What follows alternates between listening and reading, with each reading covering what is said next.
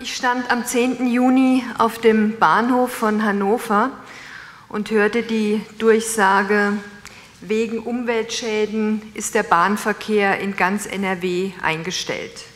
Nicht wegen der GDL, wegen Umweltschäden.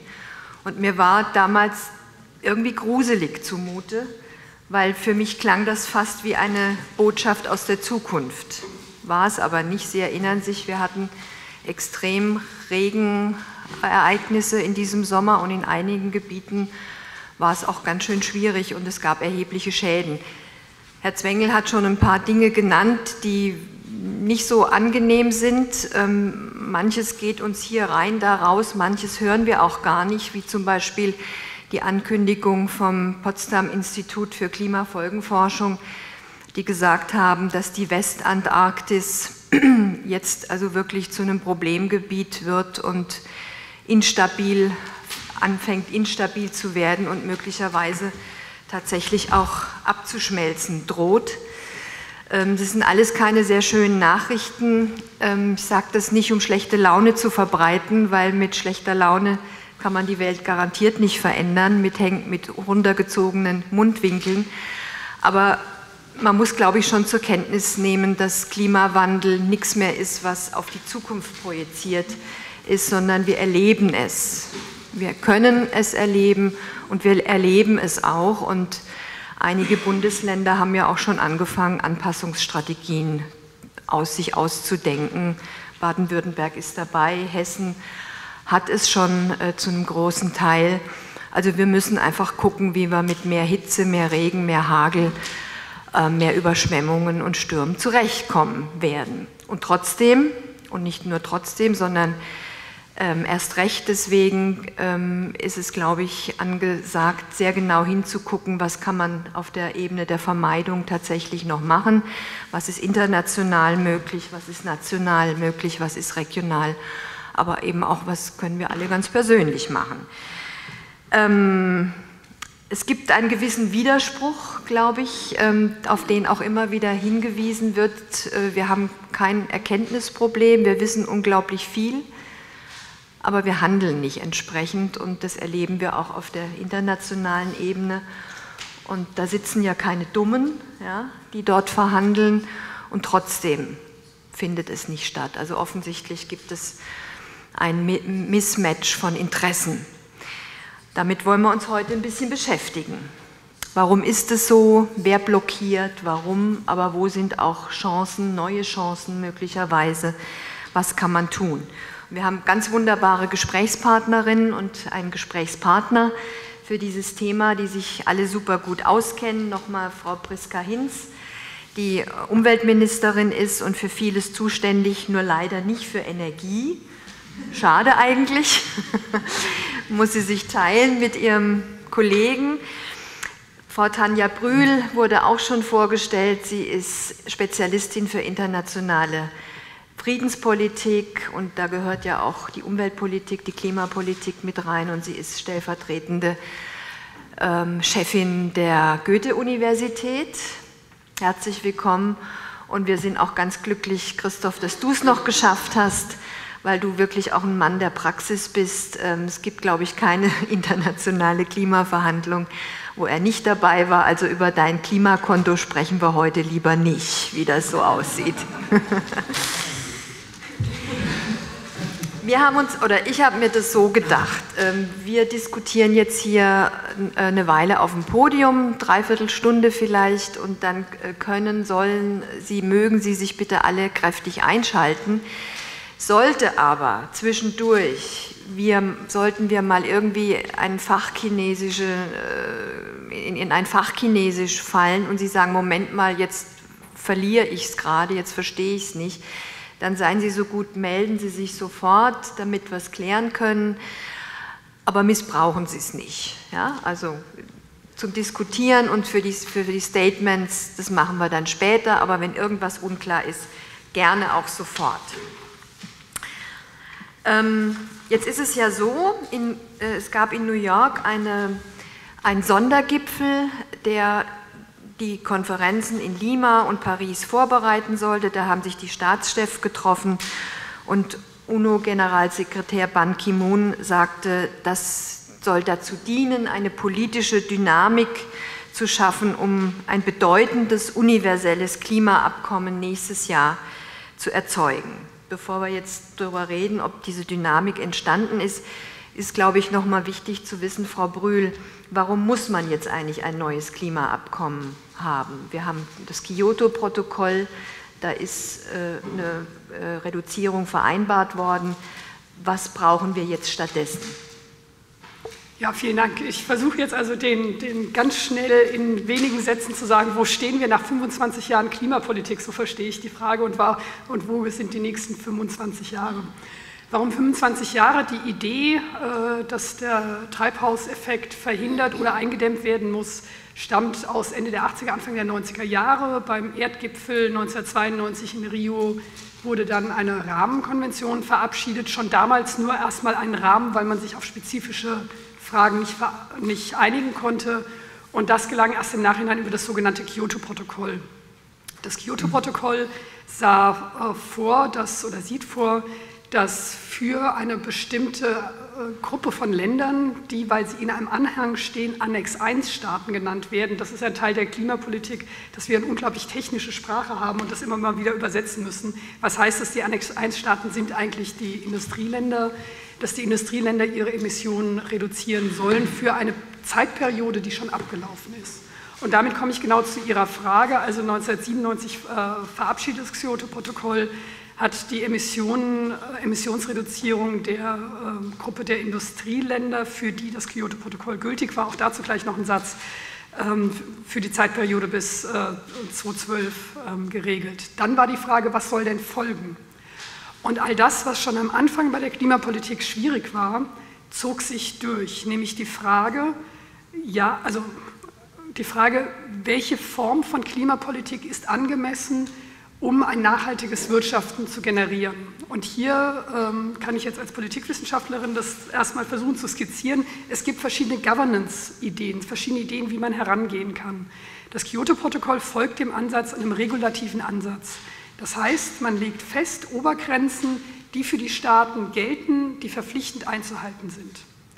Das war ein Ansatz und das ist die Frage, für welche Staaten galt denn das Kyoto-Protokoll? Das ist dann genau der Punkt, warum einer der Hauptemittenten, die USA, nie dabei waren, weil diese Form von regulativer Politik aus Sicht der ähm, verschiedenen Präsidenten im Rahmen der Klimapolitik immer der falsche Ansatz war und stattdessen gesagt wurde, dieses Command and Control, das funktioniert nicht, sondern wir müssen mit Anreizen arbeiten. Und so gab es eigentlich von Anfang an die Idee auch zu sagen, ähm, lasst doch irgendwie die, sowohl die Bürgermeister, Bürgermeisterinnen wie auch die Bundesstaaten, wie auch auf einer nationalen Ebene einfach jedem das sagen, was er denkt, was er oder sie dann reduzieren kann und das halten wir verbindlich fest. Und diese beiden Logiken waren von Anfang an ein Konfliktpunkt und ein Konfliktpunkt, der nicht aufgelöst worden ist und aus meiner Sicht nach wie vor einer der Punkte sind, die ähm, die Frage der, der Zukunft von Klimapolitik sehr stark beeinflussen. Das heißt, um die Frage knapp zu beantworten, warum brauchen wir was Neues? Das Kyoto-Protokoll selbst äh, in der ersten umfassenden Budgetperiode ist abgelaufen.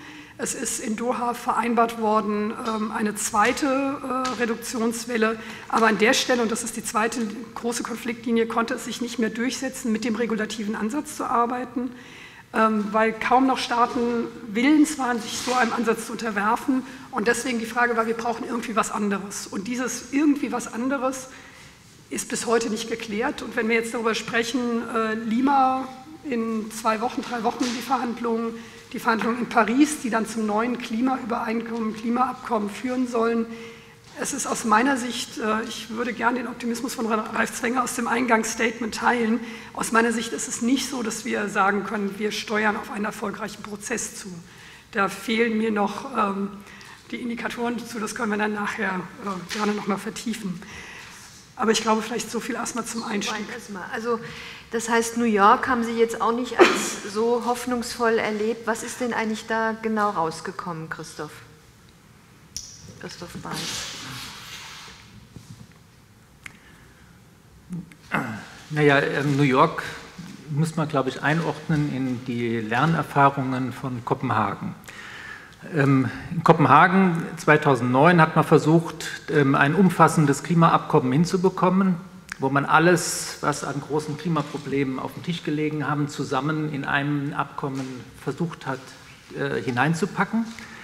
Und dass dann die letzten drei Tage von der Konferenz die Regierungschefs dazukommen und ähm, es würde, soll ihnen dann ein Papier übergeben worden, wo nur noch wenige Klammern da sind und die machen dann den Sack zu. So hat man sich das in Kopenhagen vorgestellt gehabt. Und, ähm, und jetzt hat in Kopenhagen vieles, äh, schon im Vorfeld von Kopenhagen, vieles nicht so geklappt. Ähm, und zwar zwischen 2007 und 2009, als die Verhandlungen, das war die eigentliche Vorverhandlungsphase von Kopenhagen, da kamen zwei ähm, Ereignisse, die die Welt umgestaltet haben. Das eine ist die Finanz- und Wirtschaftskrise, ähm, sodass dann ein äh, italienischer Ministerpräsident damals ähm, den Satz geprägt hat, wieso sollen wir uns um unsere Dauerwelle kümmern, wenn wir eine Lungenentzündung haben. Die Dauerwelle war der Klimaschutz. Ähm, und, ähm, und das hat die Stimmung ganz stark verändert. Ich bin fest davon überzeugt, dass wenn das nicht gekommen wäre, hätten wir ein ganz anderes Ergebnis aus Kopenhagen herausbekommen. Und zweitens mit damit zusammenhängend war, dass wir von der G7-Welt, wo die Welt von den Industrieländern dominiert war, im Rahmen der Wirtschaftskrise in eine G20-Welt umstrukturiert worden sind, wo die G20 das entscheidende Gremium weltweit geworden ist. Das war alles noch nicht einsortiert. Was heißt das denn jetzt für so ein Abkommen dazu von Verantwortung, wer muss was übernehmen und so weiter? Das waren in meinen Augen die zwei ähm, ganz großen strukturellen Probleme, die zu dem sehr misslichen Ergebnis von Kopenhagen dann geführt haben. Und jetzt hat man sich überlegt und gesagt, naja, was müssen wir denn lernen aus Kopenhagen für das Abkommen, was in Paris 2015 erreicht werden soll? Und da sagt man einerseits, ähm, die Regierungschefs sollen nicht mehr am Ende kommen, sondern die sollen nur im Hintergrund Standby da sein und per Telefon miteinander konferieren, wenn die heiße Phase da ist, aber nicht mehr auf dieser Konferenz sondern stattdessen hat man sie ein Jahr vorher oder ein gutes Jahr vorher sozusagen als ähm, Vorlauferhitzer ähm, mit zu diesem Gipfel eingeladen, um zu sagen, die muss man jetzt wieder mit ins Boot nehmen, ein politisches Commitment von ihnen bekommen, wir wollen auch dieses Abkommen. Ähm, ich sage jetzt noch mal kurz, was die anderen Änderungen sind und dann komme ich noch mal auf New York zurück.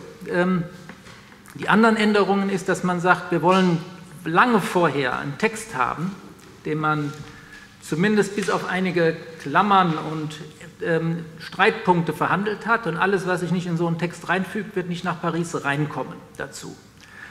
Und deswegen hat man sich das Ziel gesetzt, bis Lima, das ist jetzt ähm, im Dezember den Klimagipfel, dass man wesentliche Eckpunkte für so einen Text schon fertig hat dazu, mit, mit Klammern und wo die Unterschiede noch deutlich werden, aber dass klar ist, aha, das sind die Punkte, die dann ernsthaft verhandelt werden, vorverhandelt werden im kommenden Jahr und dann geht man ähm, auf Paris mit zu. Und dann kommt ein dritter Punkt, der, ähm, ich würde das ein bisschen anders akzentuieren, als Sie das jetzt gerade gemacht haben.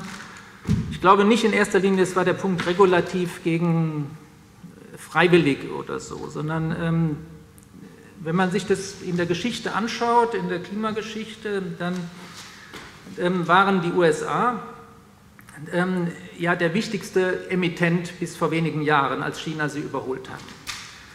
Und die Gegner des Klimaschutzes, ähm, die fossile Lobby dieser Welt, von Exxon damals angeführt, das ist das Unternehmen, was bei uns ESSO heißt, ähm, haben eine Strategie entwickelt damals und haben gesagt, wenn es uns gelingt, die USA rauszubrechen, dann trauen sich alle anderen auch nicht ernsthaften Klimaschutz zu machen. Und ähm, von dem her hat man dann als allererstes beim schon 1995 beim äh, Berliner Mandat für Kyoto, was soll da verhandelt werden, gesagt, okay, wir müssen erreichen, dass die Schwellenländer hier keine Verpflichtungen übernehmen, weil dann gelingt es uns auf dieser Basis, die USA rauszubrechen zu Hause ähm, und zu sagen, das ist nicht fair, dass, dass das gemacht wird. Und von dem her hat man, die Protokolle haben wir inzwischen davon, von dieser fossilen Lobby, wie sie das vorbereitet hat. Ähm, von dem her hat man dann gesagt, ähm, wir setzen alles dran, dass nur die Industrieländer hier Verpflichtungen übernehmen. Das war das Berlin-Mandat.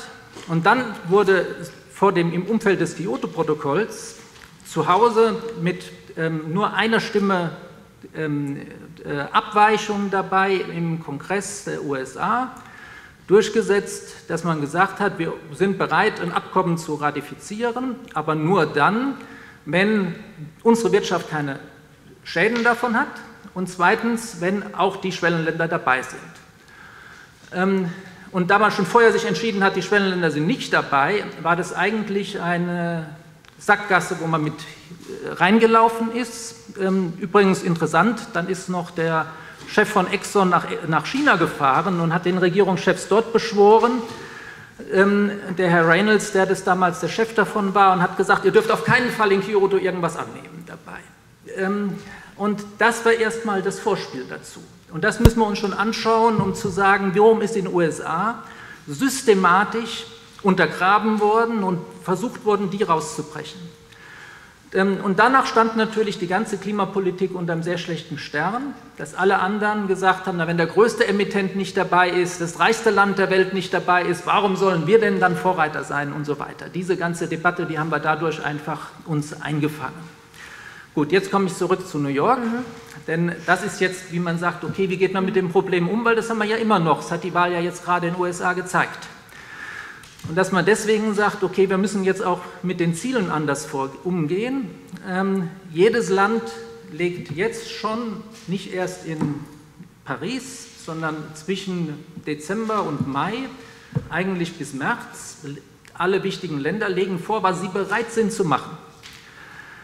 Ähm, was sie rechtlich verbindlich, national rechtlich verbindlich bereit sind zu machen. Und, ähm, und da wird aller Voraussicht nach der Herr Obama zusammen mit China in den nächsten Monaten zeitgleich mit China ein entsprechendes Ziel vorlegen.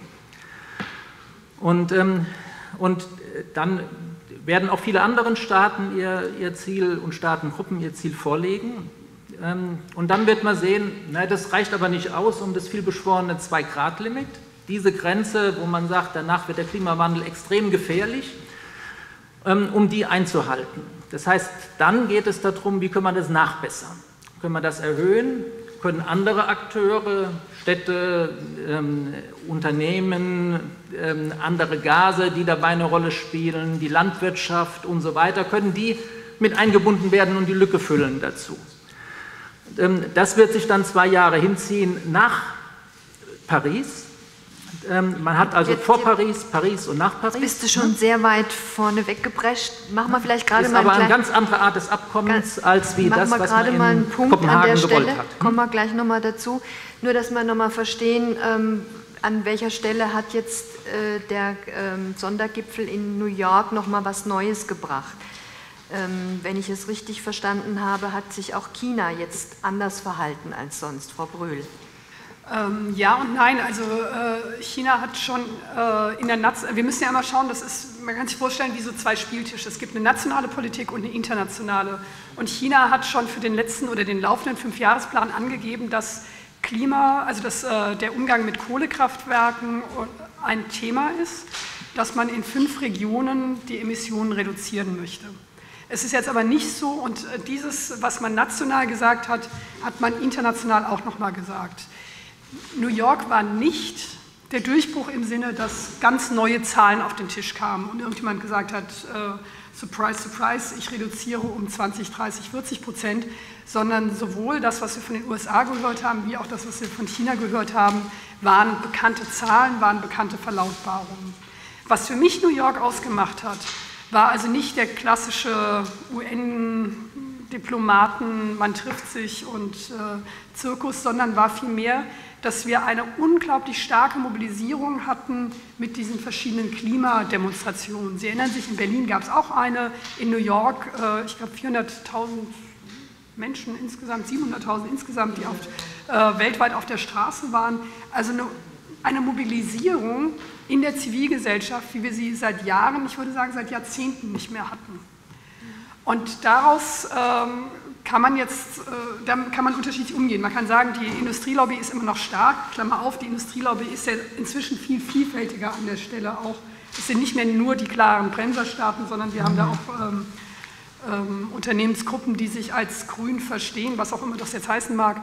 Ähm, aber es gibt einen sehr großen Druck von der Straße, auch in den USA. Und darauf setze ich auch ein Stück weit, auch in den USA, dass sich etwas verändert. Mhm. Und, ähm, ich fand es interessant, ähm, zu, wir haben ja diesen ähm, ähm BBGU, also den na, Wissenschaftlichen Beirat für globale Umweltveränderung und auch dieses Potsdam-Institut für, für Klimafolgenforschung, habe ich vorhin schon mal erwähnt, äh, Herr Schellenhuber, hat von einer Weltbürgerbewegung gesprochen in dem Kontext. Ja. Und in diesen Gutachten, die der WGBU zum Beispiel erstellt, da ist äh, jetzt ganz stark der Fokus auch drauf gelegt, zu sagen, wir müssen diese zivilgesellschaftliche Bewegung ähm, anheizen, wie auch immer das geht. Aber die Frage ist jetzt, Frau Hinz, an Sie, äh, wie nehmen Sie das wahr? Also ähm, war das tatsächlich ein, ein, eine neue Qualität, auf die man setzen kann? Ja, ähm, Jetzt geht's, genau, danke. Naja, ich bin jetzt auch noch nicht so überzeugt, dass es äh, im nächsten Jahr einen ähm, Durchbruch geben wird, ehrlich gesagt. Ähm, ich habe so widerstreitende ähm, Gefühle und ich glaube, es gibt gegenläufige ähm, Tendenzen im Moment noch. Natürlich ist es so, dass es ähm, Demonstrationen gab. Das ist positiv, zum, also positiv im Sinne von, also wir wollen mehr Klimaschutz. Das ist mal was anderes als gegen was zu sein. Also da mobilisiert sich was. Das finde ich gut. Da sollte man auch überlegen, wie man sowas verstärken kann auf, äh, von Seiten NGOs, aber auch von Seiten äh, äh, der politisch interessierten Öffentlichkeit und durchaus auch von Parteien, die sowas unterstützen.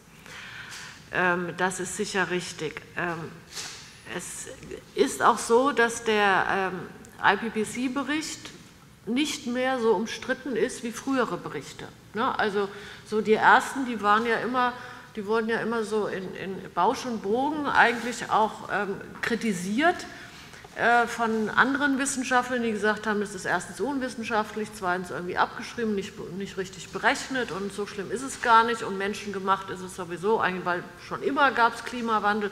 Also das I ist nicht IPPC so. sind die UNO-Forscher, also weltweit die, die besten Klimaforscher. Ne? Ja. Ähm, so, also das ist auch ein, ein positives Moment, wo man sagt, okay, das ist, scheint jetzt doch anerkannt zu sein, dass es da ein Problem gibt und dass man darauf reagieren muss.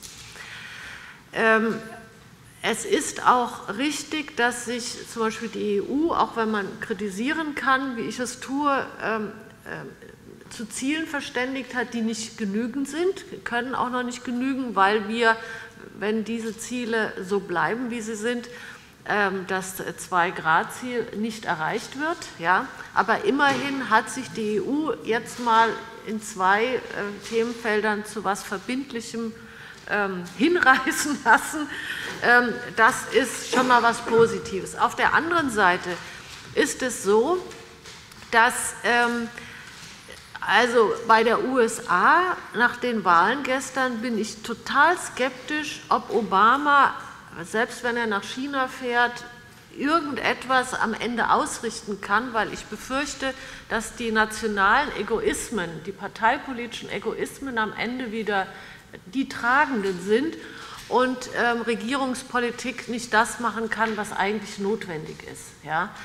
Ähm, und wir haben ja das Problem, dass bei solchen internationalen Vereinbarungen, wie wir das auch schon bei der EU sehen, ja, die ja nicht richtig international ist, sondern eher schon eine eine Binnenpolitik, äh, äh, dass die unterschiedlichen Interessen so stark sind, also aus der nationalen Sicht, aus der unterschiedlichen Kultur, die unterschiedlichen wirtschaftlichen Stärken und ähm, äh, Schwierigkeiten eines Landes, ähm, sodass ich noch nicht sehe, worin sich das kristallisieren soll am Ende des Tages in New York. Und ähm, wenn äh, es so ist, wie Herr Balz sagt, dass man zwar jetzt eine andere Herangehensweise hat und alle erstmal sagen sollen, was können wir bringen, und dann wird man feststellen, also das Zwei-Grad-Limit haben wir nicht erreicht, werden wir mit diesen Maßnahmen nicht erreichen. Wie können wir jetzt die Lücken füllen? Dann kann ich nur sagen, also das, was die EU jetzt vereinbart hat, da wissen wir jetzt schon, dass da eine Lücke klafft. Und ich sehe nicht, wer für die EU dann in New York sprechen soll, um zu sagen, also dann packen wir jetzt noch mal ein bisschen mehr drauf. In Paris. Äh, in Paris, Entschuldigung. Ähm, sodass ich... Ähm, sodass ich da eher skeptisch bin, dass man nächstes Jahr irgendwie oder ja, dass man da einen, einen Durchbruch erreicht. Aber ähm, auf der anderen Seite eben hoffnungsfroh, weil es doch eine Bewegung gibt und wo ich überlege, wir sollten schauen, wie wir das verstärken und wie können wir die Wirtschaft ins Boot bringen, weil die wirtschaftlichen Schäden aufgrund des Klimaschutzes, und das wissen wir inzwischen auch, ähm, das kann man auch evident machen mit Zahlen, sind viel größer in den nächsten Jahren als das, was man ausgeben muss, um tatsächlich Klimawandel herzustellen.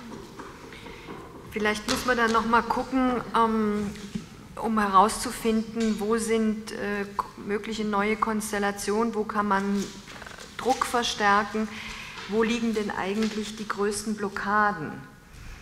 Ähm, Frau Brühl, wie nehmen Sie das wahr? Also ähm, wer sind im Moment in der EU und äh, darüber hinaus die Länder, die am, am meisten Schwierigkeiten machen und warum? Und wo kann man da, könnte man da möglicherweise andere Interessen miteinander in Verbindung bringen? Ich greife die Frage auf, indem ich sie erst noch einen Satz genau andersrum ähm, wende. Wann gelingt es denn in der internationalen Politik zu einer neuen Kooperationen zu kommen. Und das gelingt, wenn man Vorreiter hat. Das zeigt die Literatur, die Forschung sehr deutlich. Ich meine, das ist auch einleuchtend, normaler Menschenverstand. Wir kommen nur voran, wenn irgendjemand sagt, so, und ich nehme jetzt mal, ich gehe mit gutem Beispiel voran. Und ein Problem, welches ich sehe in der internationalen Klimapolitik, ist, dass diese Vorreiterposition unbesetzt ist. Herr Balz hat schon darauf hingewiesen, bei, in Kopenhagen war, wollte die EU gerne der Vorreiter sein. Äh, es hat halt am Schluss nicht so geklappt, weil bei den informellen Verhandlungen, die dann dazu führten, diesen, äh, diesen Kopenhagen Accord, dieses, äh, dieses unverbindliche, dann akzeptierte Dokument zu vereinbaren, saßen sie nicht mit am Verhandlungstisch, sondern das waren die USA mit den BRICS-Staaten zusammen.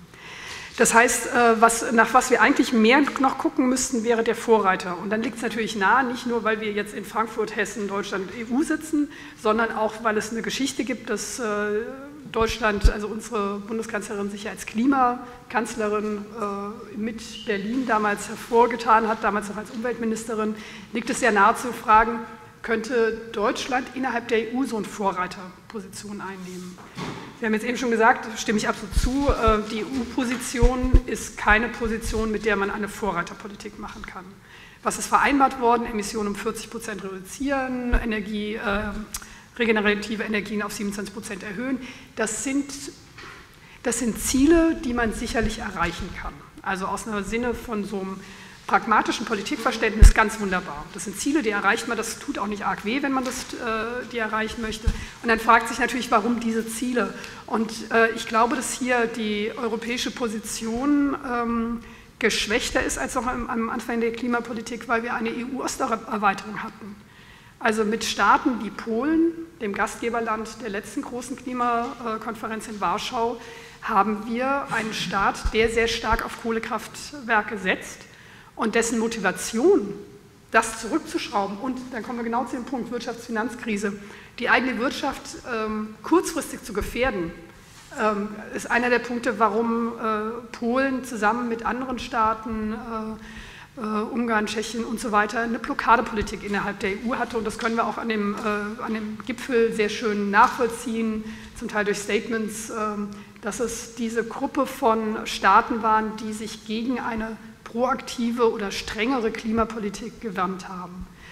Jetzt stellt sich die Frage, was machen wir in so einem Fall? Sagen wir, okay, EU ist verloren, wir setzen auf die kleinen Inselstaaten, weil ähm, die haben die, also einfach durch ihren Überlebenskampf eine Power auf den Konferenzen, äh, dass, dass man sagt, vielleicht unterstützt man die. Das halte ich für falsch. Also ich finde, da muss man schon Kräftegleichgewichte ansehen. Aber warum dann nicht nochmal nach Berlin appellieren und sagen, klar ist Deutschland Teil der EU und natürlich wird mit einer europäischen Stimme idealiter gesprochen. Und wir haben eine Kommissarin, die interessanterweise ja in, äh, jetzt nicht Klima Kommissarin ist, sondern Klima und Energie, was aus meiner Perspektive, weil das so einleitend war, nicht unbedingt was Positives ist, Klima und Energie zusammenzulegen, weil ich glaube, dass hier verschiedene Interessen zusammenkommen. Realpolitisch idealerweise wäre es anders, kann man. Hm? Das machen wir doch mit unseren Ministerien hier genauso. In Hessen hat man Landwirtschaft und Umwelt auch in einem Ministerium gesteckt. Ne? So richtig so. So richtig so. Ja, ja, ja, aber ja. Ist ja auch gut so. Nee, doch. Hat sich fest gegenseitig blockiert. Nein. Vielleicht mache, mache ich erst den Satz. Also ich finde es im, im, europäischen Rahmen finde ich es schwierig, gerade vor dem Hintergrund, dass Energiefragen, natürlich wäre es idealerweise schön, wenn man das alles unter einer Nachhaltigkeitsbrille sehen würde. Aber im Moment haben wir verschiedene Interessen auf europäischer Ebene und die zusammen wie dem auch sei, es gibt eine europäische Position, aber die Nationalstaaten sitzen auch alle als Nationalstaaten am Tisch. Also die EU ist äh, eigener Player, aber die europäischen Staaten sitzen am Tisch. Warum nicht versuchen, eine Koalition derjenigen europäischen Staaten, die eine andere Klimapolitik äh, vorantreiben wollen, warum versuchen wir da nicht nochmal stärker auch wer auch immer jetzt wir ist, äh, dafür einzutreten. Also Spanien, fragen, wer, Frankreich, mhm. ähm, also an Staaten kann ich das mhm. schnell aufzählen. Es ist halt die Frage, wie schafft man den politischen Willensbildungsprozess dorthin? Mhm. Christoph? Ja, äh, ich würde gern diese Punkte, die mir ein Stück ähm, Mut machen dabei, ähm, was sich verändert hat im Moment, nochmal ähm, auf den Punkt bringen. Denn ich glaube, ähm, es ist wichtig, dass wir diese Auftriebskräfte uns anschauen und auch schauen, wie man dann Dynamik daraus bekommen kann. Ähm, das eine ist, der, dieser Weltwissenschaftsrat, der IPCC, der hat jetzt wirklich Klartext gesprochen. Der hat vorgerechnet, ganz konkret mit Milliarden Tonnen CO2, wie viel man, wir noch haben, damit das 2-Grad-Limit nicht überschritten wird. Und dann hat er gesagt, okay, die Reserven, die jetzt schon bei den Unternehmen für fossile Energien in den Bilanzen stehen, ist viermal mehr als wie das, was wir noch an fossilen Energien verbrennen dürfen. Also vier Fünftel von dem, was jetzt schon in den Bilanzen der Unternehmen oder staatlichen Unternehmen, oft sind es Staatsunternehmen in vielen Ländern, ähm, an fossilen Energien, wo die sich die, den Zugang dazu gesichert haben, dürfen nicht mehr verbrannt werden. Das heißt für uns zum Beispiel, wir müssen ratzfatz aus der Kohle aussteigen. Wir müssen bis 2030 in Deutschland aus der Kohle sein. Und da wird es nämlich sehr konkret und ähm, da fängt jetzt im Moment der Kampf in Deutschland gerade mit zu an. Da können wir gleich ja nochmal drauf kommen. Ähm, zweiter Punkt. Ähm, in China tut sich in, wenn man sich anschaut von den großen Akteuren, wo hat sich am meisten in den letzten fünf Jahren positiv getan im Klimaschutz, das ist China. Ähm, und das ist bei uns noch wenig bekannt.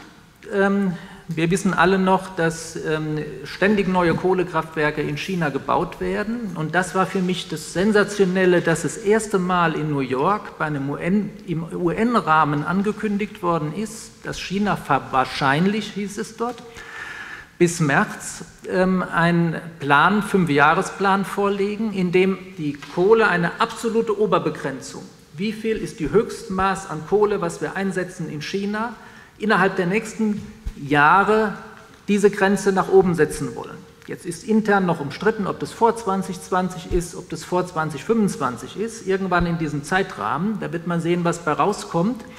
Aber das hätte ich mir vor fünf Jahren in Kopenhagen nie zu träumen gehofft, dass wir sowas von China als Aussage bekommen. Das finde ich ähm, richtig sensationell. Ähm, und ähm, dann ist der nächste Punkt, dass die erneuerbaren Energien heute viel, viel kostengünstiger sind, als das noch in Kopenhagen der Fall war. Die Photovoltaik kostet jetzt noch ein Fünftel von dem, was sie gekostet hat 2009, als, die, als wir in Kopenhagen waren. Das führt im Moment, und Wind ist auch wettbewerbsfähig in vielen Teilen der Welt geworden, das führt dazu, dass erneuerbare Energien in vielen Teilen der Welt ohne jegliche Zuschüsse, ähm, ohne jegliche Subventionen wettbewerbsfähig geworden sind. Ähm, das führt zu einer sehr starken Dynamik in diesem Bereich, am allerschnellsten übrigens in China, auch das wiederum. Ähm, und äh, dann, last not least, die Kohle ist erstmals überhaupt seit dem Beginn der industriellen Revolution kommt massiv unter Druck. Ähm, nicht nur in China, In den USA lässt sich durch die Regulierungen, die da sind, kein neues Kohlekraftwerk mehr bauen. Die haben andere Probleme, gar keine Frage, Shellgas und so weiter, aber bei der Kohle ist das der, der, der Punkt. Die Weltbank hat jetzt ihre Regeln so verändert, dass kaum noch Kohle im, im internationalen Ausland gefördert werden kann. Dann haben fast alle Entwicklungsbanken nachgezogen. Als vorletztes jetzt die KfW, die Deutsche Entwicklungsbank, die jetzt das ähm, gerade im Kontext, und deswegen war New York auch wieder wichtig, weil nur bei so einem, wenn sowas, so eine Öffentlichkeitswirksamkeit da ist, dann kriegt man sowas mit durch.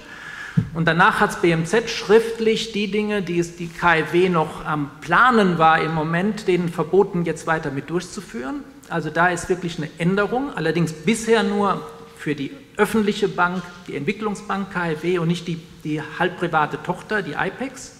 Das muss jetzt das nächste Spielfeld sein. Und dann kommen wir an die Hermes Exportkreditbürgschaften. Das müssen wir nächstes Jahr hinbekommen. Da haben die USA auch schon einen tollen Vorschlag für vorgelegt. Ähm, die Gesundheitsprobleme von der Kohle sind viel, viel, viel klarer geworden, als wie als wie die vorher jemals klar gewesen sind. Da wird jetzt die nächsten Tage eine Studie kommen, die auch für Deutschland sagt, dass wir jedes Jahr mehr als 20.000 Tote allein durch die Kohle haben in Deutschland. Ähm, das ist wirklich eine neue Debatte und die Kohle wird neu unter Druck kommen. Da bin ich mir ganz sicher. Ähm, und das ist der Hintergrund, warum in China, ähm, die Todesursache Nummer eins in China inzwischen, so massiv gegen die Kohle vorgehen dabei. Ne? Und das heißt, hier sind einige Punkte, wo ich durchaus sehe, da ist neue Dynamik im Spiel. Und ähm, es gibt die Gegenkräfte und da mache ich mir überhaupt keine Illusionen von, wie schwierig dieser Kampf wird. Die IGBCE, die hat jetzt die letzten Tage den Widerstand gegen den Einstieg aus dem Ausstieg der Kohle bei uns, bei uns organisiert. Und das wird ein ganz heißer Kampf die nächsten Monate und Jahre werden.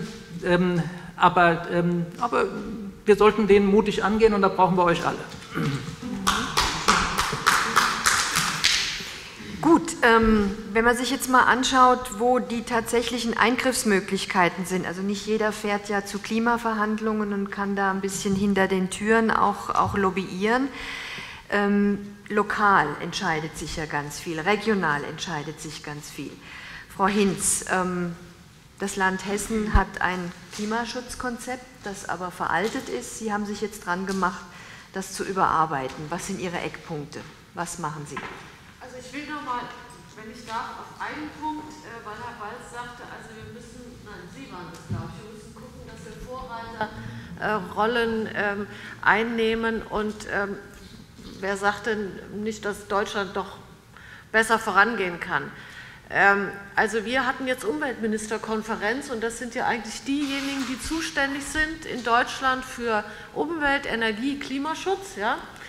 Ähm, und wir haben es tatsächlich geschafft, einstimmig einen Beschluss herbeizuführen, dass wir ähm, das gut finden, was da ähm, auf EU-Ebene jetzt beschlossen, dass es mal verbindlich ist.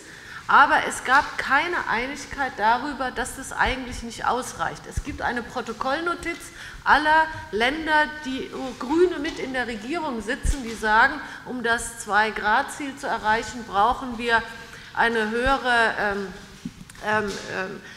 also muss, der, muss die, die, die Reduzierung der Treibhausgase ähm, auf 55 Prozent, wir müssen äh, mehr Erneuerbare und Energieeffizienz, äh, die, die Kaskade 45-40 und der, der Zertifikatehandel muss jetzt sofort neu konstituiert werden. So, das waren dann sieben Länder ja, von 16. Deswegen, also wenn es noch nicht über die Umweltminister schaffen, ja, da hat ja dann noch die Bundesregierung noch nicht zugestimmt, da zu einer Einigkeit zu kommen, dann weiß ich nicht, wie weit wir bis nächstes Jahr kommen wollen. Aber nichtsdestotrotz, ich bin ja auch ein optimistischer Mensch, sonst wäre ich nicht so lange in der Politik. Wir machen da weiter. So, jetzt aber deswegen, weil ich optimistisch bin, genau, ähm, mache ich das auch in Hessen. Wir haben vor, einen Klimaschutzplan zu erstellen. Ähm, für Hessen. Wir haben ja schon äh, Klimaanpassungsmaßnahmen, da gibt es einen Plan.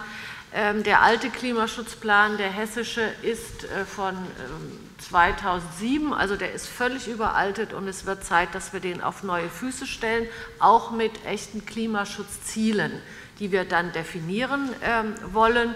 Und natürlich ist für uns wichtig, dass wir im Bereich der, des Gebäudebestandes ähm, was machen, also die Frage von Sanierungen, auch von natürlich im, Neubau entsprechenden äh, äh, Energiestandard anhalten, aber wir haben ja ein Problem äh, vor allen Dingen im Gebäudebestand. Wir müssen schauen, dass wir in der Stadtentwicklung äh, bessere Klimaschutzziele erreichen. Das heißt auch die Frage Grün in der Stadt und was bedeutet das eigentlich für Stadtentwicklung.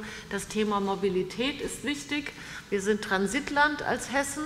Bei uns geht alles Mögliche durch ja, an äh, Verkehr. Ähm, das ist ein wesentliches Thema. Und dann wollen wir schauen, dass wir die Kommunen einbinden, weil Hessen kann natürlich viel beschließen. Wir können auch auf bestimmter Ebene was tun. Aber wir brauchen wiederum dann die Kommunen, die mitmachen, weil auf örtlicher Ebene sich auch ganz viel entscheidet an Klimaschutzmaßnahmen. So, und das werden wir im nächsten Jahr als äh, Schwerpunktthema ähm, uns vornehmen. Und ich hoffe, dass wir Ende nächsten Jahres da schon klarere äh, Vorgaben haben, wie ein Klimaschutzplan aussehen kann und wie er umgesetzt werden kann. Mhm. Und jetzt, ähm, ich habe ja vorhin gesagt, äh, Energie ist nicht Ihr Thema, das macht Herr Tarek El-Wazir, der, mhm, ja. der, zweite Mann im, im Staate Hessen, stellvertretender Ministerpräsident. Ähm, ziehen, also das heißt, die, die ganze Thematik Energiesparen, Energieeffizienz ist bei ihm angesiedelt. Ähm, ziehen Sie da gemeinsam an einem Strang? Das machen wir. Es wäre jetzt auch ähm, schlecht, wenn es nicht so wäre, vor allen Dingen, weil wir auch noch aus einer Partei kommen, ne? glücklicherweise in dem Fall und wir ähm, da sehr viel dichter zusammenarbeiten, als es früher zwischen Wirtschaft und Umwelt zum Beispiel der Fall war. Ähm, ich habe mich am Anfang auch, das kann ich offen sagen, geärgert, dass ähm, die Energie dann bei mir wegging. Ich habe aber Wohnen und Stadtentwicklung dazu bekommen, was ich für das Thema Klimaschutz nicht schlecht finde, äh, muss ich inzwischen sagen. Äh, wir haben natürlich vor, einmal äh, die erneuerbaren Energien, sprich Windkraft vor allen Dingen, auszubauen. Aber wichtig ist äh, aus meiner Sicht, dass wir das Thema Energieeffizienz, Energieeinsparung mit zu einem wesentlichen Eckpfeiler auch unserer Politik machen, weil das, was wir nicht verbrauchen, muss auch nicht produziert werden an Energie. Ähm, das ist ähm, erstens fürs Klima besser und zweitens auch noch fürs Portemonnaie. Ja, also ich meine, wir müssen ja auch immer noch an soziale Dimensionen von Energiekosten denken auch wenn wir sagen, Energiekosten müssen eigentlich die Wahrheit sprechen, im Sinne von, es muss klar sein, dass Energie was kostet, umso wichtiger ist dann die Frage, wo können wir eigentlich wie einsparen, dass die Menschen das auch tatsächlich merken, dass Energieeffizienz und Energieeinsparung sich lohnen. Christoph Balz, ähm, du klingst zwar nicht immer so, aber du bist Vertreter einer NGO, einer auch durchaus bissigen NGO. Ist das ähm, also Gefällt dir das, was die, die Umweltministerin von Hessen hier vorträgt? Ach so, so war das gemeint. Ich dachte schon, ob es mir gefällt, Vertreter von der NGO zu sein. ähm, ähm, Können wir auch drüber sprechen, ja. Ähm, also erstmal ist das mein Traumberuf, aber ähm, ähm, wir, wir haben jetzt einfach ganz zentrale Aufgaben vor uns. Und da wird man jetzt sehen, und da wird man auch jede Landesregierung dran messen, ob sie in diesen Bereichen äh, jetzt tatsächlich Vorreiter ist. Ähm, am, 3, am 3. Dezember äh, wird äh, bei uns hier im Kabinett im, äh, darüber entschieden, über, den Klimaschutz, über das Klimaschutzaktionsprogramm. Das ist ganz interessant, weil Deutschland hat sich für 2020 Bundeskabinett, ja, ja, Bundeskabinett ähm, äh, weil Deutschland, aber das, ist, das hat dann für die Länder viele Konsequenzen. Ähm, Deutschland äh, hat sich äh, ein 40-Prozent-Ziel gesetzt bis 2020 gegenüber 1990 die Emissionen um 40 Prozent zu reduzieren. Sie sind verpflichtet, im EU-Kontext das um 30 Prozent zu reduzieren und haben aber selber immer wieder gesagt, seit 2007, schon Gabriel und Merkel haben das damals zusammen äh, gesagt, als sie nach Grönland gefahren sind, ähm, haben sie gesagt, wir werden 40 Prozent bis 2020 reduzieren. Jetzt ist aber klar, wir werden im Moment nur, wenn keine neuen Dinge beschlossen werden, jetzt werden wir nur ungefähr 31 bis 33 Prozent erreichen. Ähm, da klafft also eine garstige Lücke. Und, ähm, und die kann man nur schließen, wenn man in zwei, mindestens in zwei Bereichen massiv nachlegt. Und das eine ist der Bereich Energieeffizienz, und da sind wir bei den Gebäuden. Die sind da der allerzentralste Teil, aber es ist auch noch andere Energieeffizienzbereiche, die dabei eine wichtige Rolle spielen. Ähm, und das andere ist die Kohle. Wir müssen im Prinzip 50 Millionen Tonnen CO2 vor 2020 jährlich aus dem Fluss, aus der Kohle rausholen, dass wir stattdessen Gas verbrennen und, kein Kohle, und keine Kohle verbrennen. Ähm, das sind die zwei Hauptaufgaben, die jetzt da sind. Was und ansonsten werden wir nach Paris, Hessen? sonst werden wir nach Paris fahren und werden sagen müssen, wir haben unser Ziel reduziert und nicht erhöht. Das ist so viel zur Vorreiterrolle von Deutschland. Und jetzt von Hessen in dem Bereich Energieeffizienz ähm, muss, ist die Umsetzung, und es ist das letzte Mal daran gescheitert, dass sich die Länder und der Bund nicht geeinigt haben auf das Paket, das Anreizpaket für die Gebäude praktisch dazu. Ähm, hier haben die Länder sowohl jetzt bei der, bei der Vereinbarung was wird tatsächlich beschlossen. Als wir dann bei der Umsetzung äh, sind die Länder zentral in, in der Rolle, wo sie vorankommen müssen. Und da ist wirklich gut, wenn wir gute Minister haben, die diese Sache hier umsetzen dabei. Ähm, und das brauchen wir jetzt. Und daran, daran, werden wir jeden messen, ob das tatsächlich gemacht wird. In den Kohleländern ist natürlich noch eine zusätzliche Aufgabe. Und da haben wir das Glück, dass wir mit Herrn Remmel auch einen grünen Kohleminister in Nordrhein-Westfalen oder einen grünen Minister, Umweltminister in Nordrhein-Westfalen haben, der jetzt eine ganz schwierige Aufgabe dazu hat, ähm, in Nordrhein-Westfalen auch den Beginn des Ausstiegs aus der Braunkohle einzuleiten dabei. Ähm, und da hat er letztes Jahr einen ersten wichtigen Schritt gemacht, dass die Abbaufläche begrenzt worden ist, dass da nicht die neuen Dörfer ähm, äh, der Beschluss nicht gefasst wurde, die zu vertreiben sozusagen. Und das muss jetzt dieses Jahr in Gesetzesform gegossen werden und dann geregelt werden, dass die, alten, die ältesten Dreckschleudern vom Netz genommen werden. Ähm, und das sind die zwei wesentlichsten Punkte für die Klimapolitik bis 2020 in Deutschland. Das sind auch die Messpunkte für jeden Minister von uns. Hinz, Sie haben eben gesagt, wir haben ja nicht so viel Kohle in äh, Hessen, aber wir haben immerhin E.ON und ähm, in, ist nicht weit von hier in Großkrotzenburg und die haben, ähm, wenn ich das richtig sehe, kein, noch kein Ausstiegsprogramm für ihre Kohlepolitik, sondern die setzen auf effizientere Kraftwerke. Ja, das ist richtig. Das äh, gehört natürlich auch dazu, dass wir, dass wir da rangehen und äh, äh überlegen im Rahmen unseres Klimaschutzplanes, äh, was wir da machen können. Aber ich sage, wir sind Gott sei Dank nicht so ein Kohleland wie zum Beispiel Nordrhein-Westfalen oder Brandenburg, ja, wo es ja im Moment noch die Bewegung gibt, noch richtig rein in die Kohle. Also insofern können wir, glaube ich, ähm, sind, sind andere Schwerpunkte wie zum Beispiel Energieeffizienz für uns wesentlich wichtiger bis 2020, ähm, wobei ich das nicht vernachlässigen will. Mhm. Ähm, Jetzt haben Sie gesagt, Sie sind froh, dass Sie in Ihrem Ministerium auch Städtebau und Wohnen haben. Ähm, mir scheint aber, dass es da schon durchaus auch Zielkonflikte gibt. Ja? Also wir haben in Frankfurt beispielsweise ein äh, Ziel, 20.000 neue Wohnungen zu schaffen. Da werden jetzt Neubaugebiete ausgewiesen, da wird innerstädtisch versucht, jede Freifläche zu bebauen, ähm, meines Erachtens oft ohne Rücksicht darauf, dass Klimaschutz auch eben in der Stadt stattfindet. Also dass wir Frischluftschneisen brauchen, dass wir, ähm, äh, dass wir ähm, Grünflächen weiterhin brauchen, also um auch den, dem, schon dem Klimawandel zu begegnen, wie er schon stattgefunden hat. Wie wollen Sie das handhaben?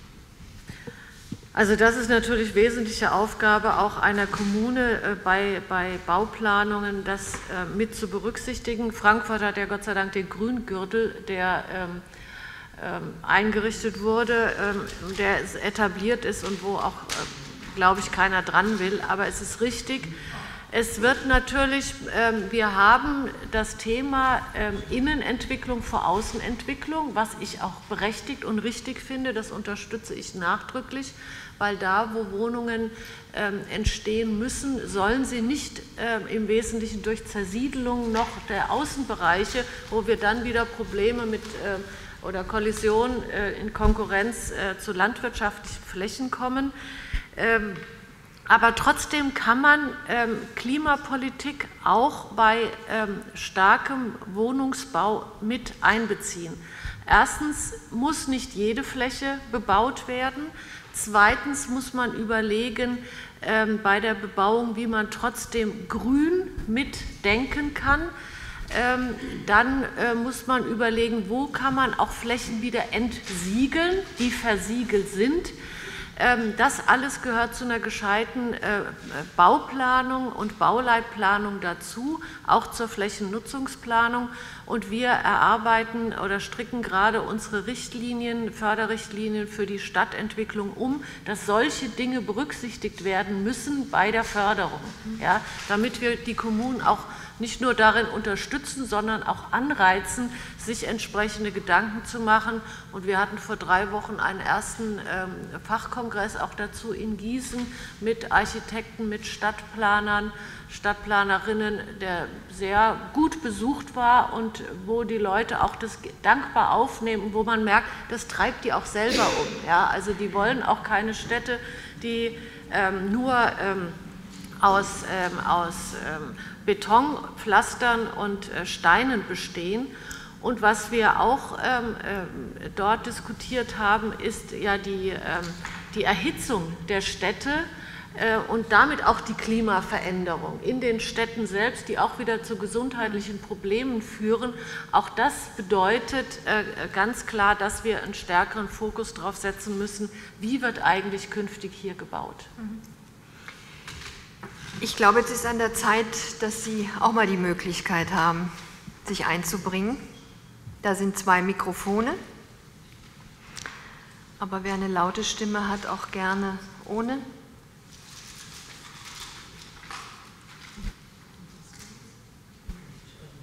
Bitte schön.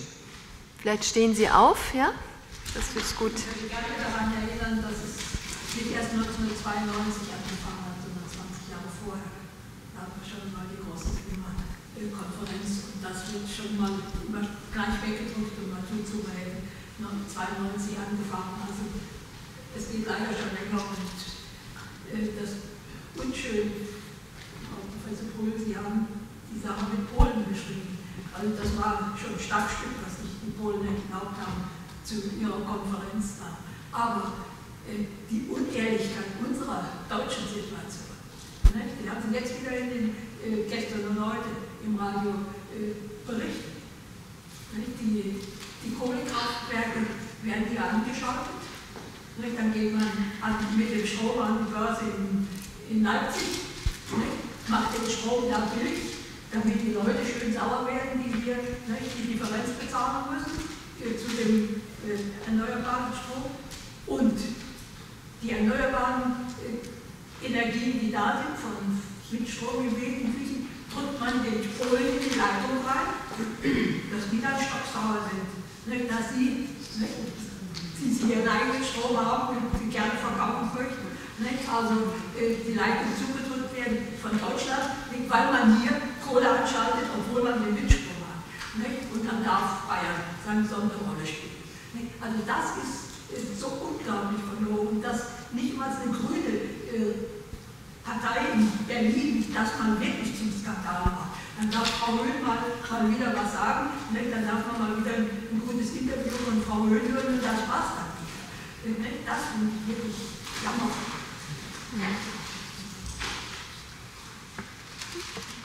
Wenn ich darf, vielleicht reagiere ich darauf. Was war 1972 und was eine, was eine Klimakonferenz? Also ähm, ich möchte jetzt nicht äh, ganz rosinenpickerisch sein. 1972 war die erste Konferenz der Vereinten Nationen, in der es um die menschliche Umwelt, so war der damalige Titel, ging. Ähm, es stand da vor allem im Vordergrund eine Ressourcenfrage. Das war damals die ersten Berechnungen, die, die es gab, die Frage der Endlichkeit der Ressourcen, bei denen auch die Frage von Kohle eine Rolle gespielt hat im Nachgang. Aber es war keine Klimakonferenz, sondern die Frage von Klimafragen ist wissenschaftlich aufgekommen in den 80er Jahren. In den 80er Jahren die ersten Wissenschaftler, die gesagt haben, ähm, also nein, in den 70er, waren, 70er Jahren waren die ersten Naturwissenschaftler, die gesagt haben, anscheinend gibt es einen Zusammenhang zwischen CO2 und anderen Gasen und einem, äh, dem sogenannten Treibhauseffekt. Bis sich das dann auf einer internationalen Ebene durchgesetzt hat, ist es im UN-Rahmen 1988 die erste Vorbereitungskonferenz, 1990 wurde die erste ähm, Vorbereitungskonferenz, äh, das erste Verhandlungsgremium eingesetzt, welches eine Klimaverhandlung vorangebracht hat. Das ist jetzt aber, das ist halt immer die Frage, das ist im deutschen Diskurs, geht es so auch Nachhaltigkeit und Klima und Verlust Biodiversität.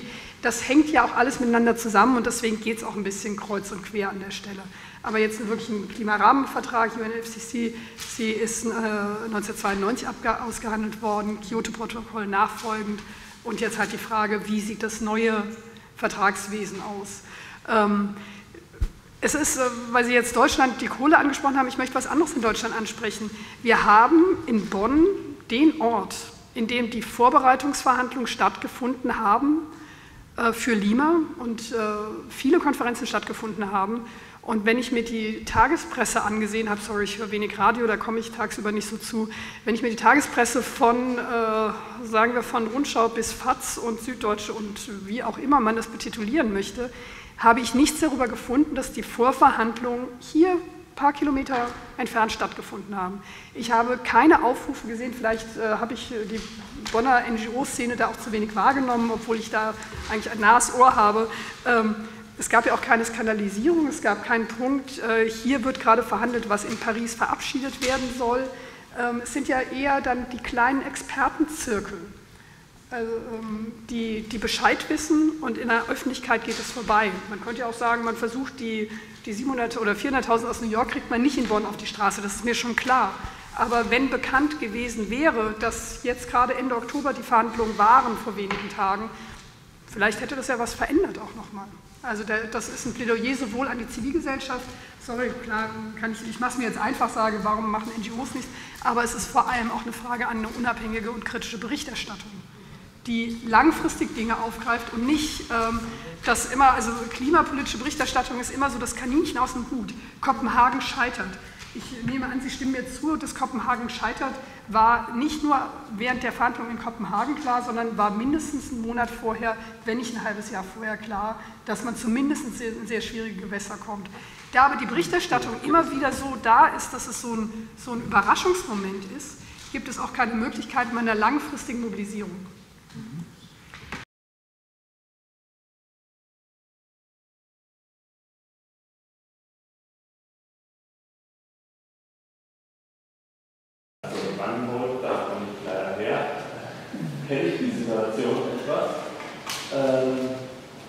glaube nicht an irgendwelche politischen Veränderungen aus Brandenburg selbst heraus. Ich wollte gerade mal fragen, wenn man dann äh, nationale und dann Länderebene äh, sieht, wenn man da Umstellungsprozesse voranbringen will, wo ist der kurze, wo ist der lange Hebel? Äh, ich meine, Brandenburg hängt am Kopf äh, der anderen Länder, also die lassen sich äh, sicherlich überzeugen mit verschiedenen Argumenten, mal davon abgesehen, dass äh, Brandenburg ja, was ihre Industriepolitik angeht, eine lange Liste des Scheiterns vorweisen kann. Also die haben überhaupt keinen Grund, äh, irgendwie ein, ein breites Kreuz zu zeigen. Nicht? Also äh, für mich völlig unverständlich, warum man gerade Brandenburg nicht aus der Kohle herauskommt, wo man dann, also ich kenne das übliche Argument, was ein strukturschwaches Gebiet, Arbeitsplätze, äh, stimmt aber so nicht. Brandenburg ist strukturschwach, weil sie genau diese Kohle haben. Mhm.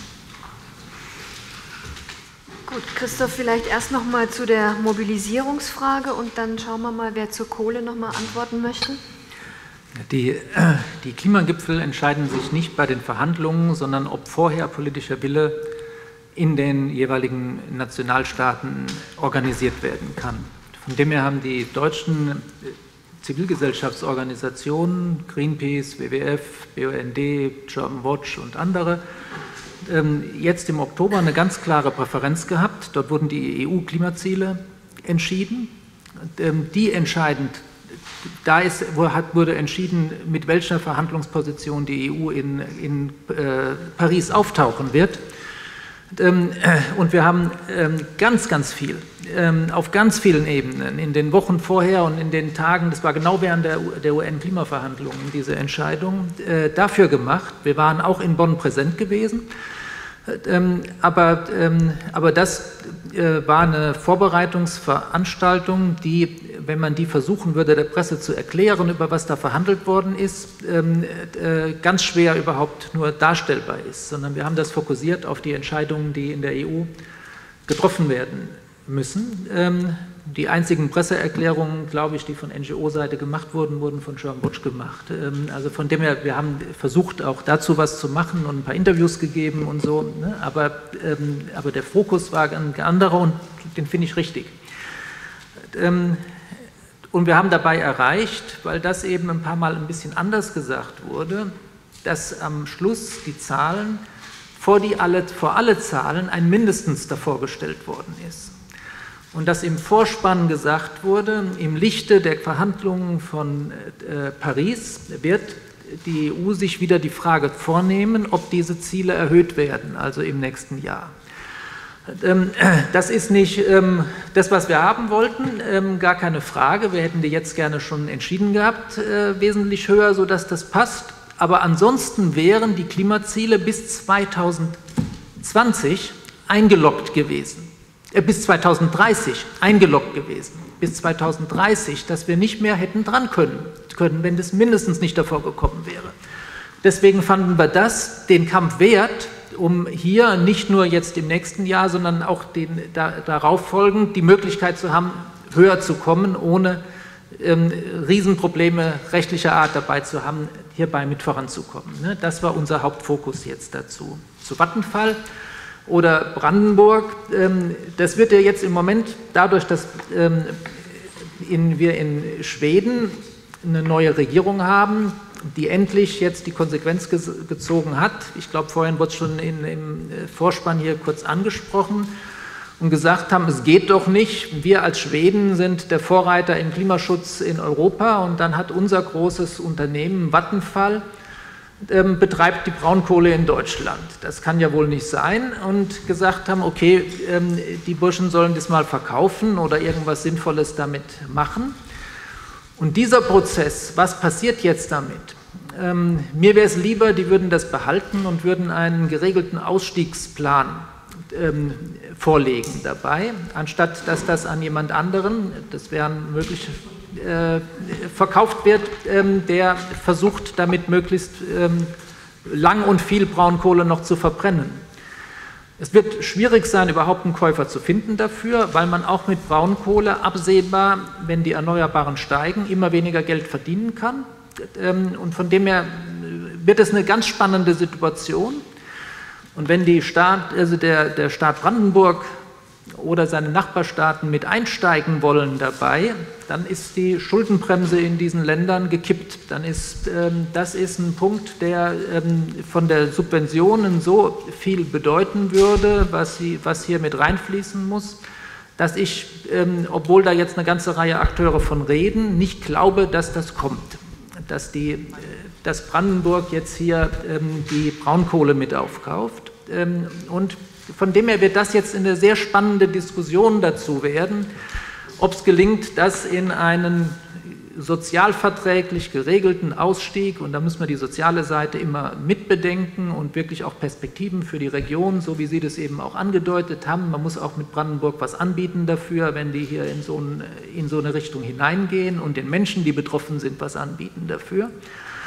Ähm, aber, aber das steht jetzt an für Deutschland und ist eine der ganz wichtigen Wegweisungen, Wegscheiden, vor dem wir stehen. Nochmal eine Ergänzung, gerne. Ja, also ich fände es auch besser, ähm, wenn Vattenfall tatsächlich drin bleibt und einen Ausstiegsplan macht, weil ich das auch wegen der Sozialverträglichkeit und der Möglichkeit, im Land wirtschaftlich was umzustrukturieren, äh, es sehr viel verträglicher fände, dass irgendein anderes Bundesland äh, im Rahmen des Länderfinanzausgleichs sich irgendwie am Kauf beteiligt. Das glaube ich jetzt nicht, gell? Also ähm, wer sollte das machen?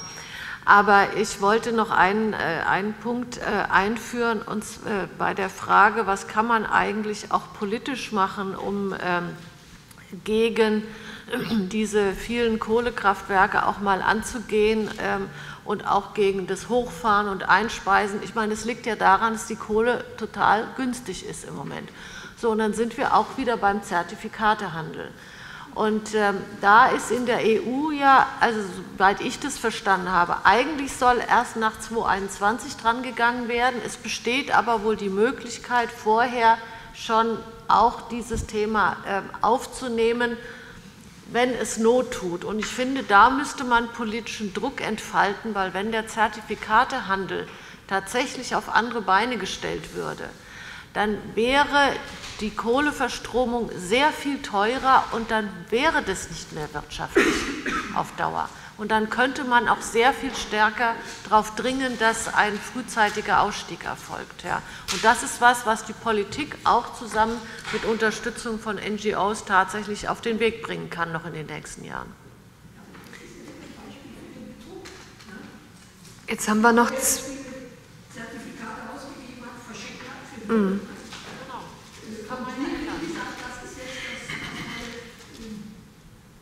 Mhm. Jetzt haben wir noch zwei Wortmeldungen, die Dame hinten und dann Sie. Ja, gerne Mikro. Ich versuche das mal mit. Sagen Sie auch, wer Sie sind, damit wir dann ja. auch reagieren können mit dem Namen. Oder hier vorne. Nee, da ist in der Tat kein Licht im Moment, aber hier vorne, schauen Sie, da ist noch ein Mikro. Also, mein Name ist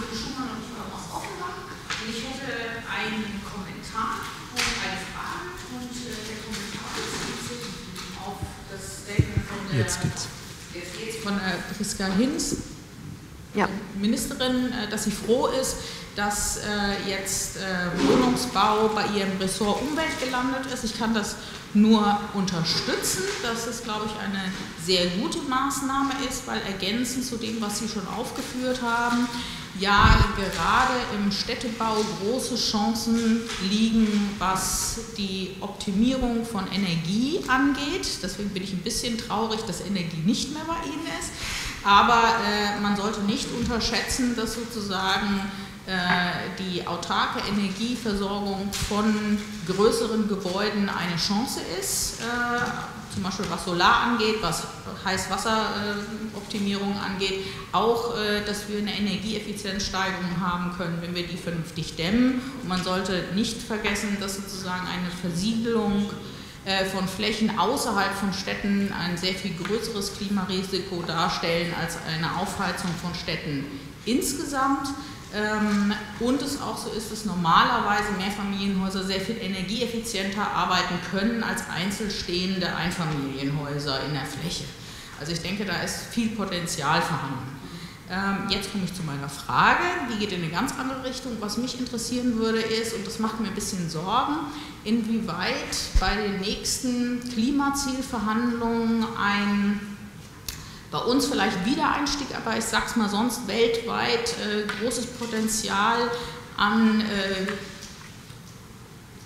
positiven Stimmen zuzüglich einer Atomkraftnutzung wieder eine Rolle spielen werden, weil es da ja äh, doch immer wieder sehr viele Personen gibt, die die Meinung vertreten, dass äh, das zu fördern sei, weil es eben so schön CO2-neutral ist.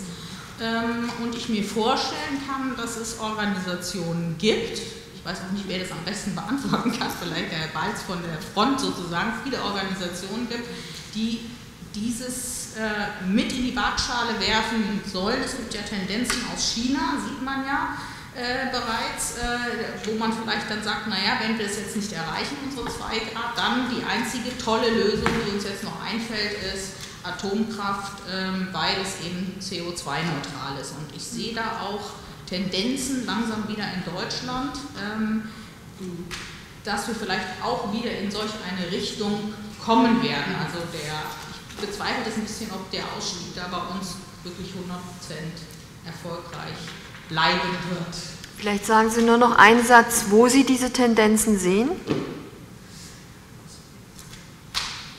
Also es treten ja jetzt bereits irgendwelche sogenannten grünen Gruppen auf, äh, die auch dieses Thema wieder vorantreiben. Also sozusagen, was äh, hilft uns eigentlich nicht äh, der Atomeinstieg der Wiedereinstieg an dieser Fragestellung.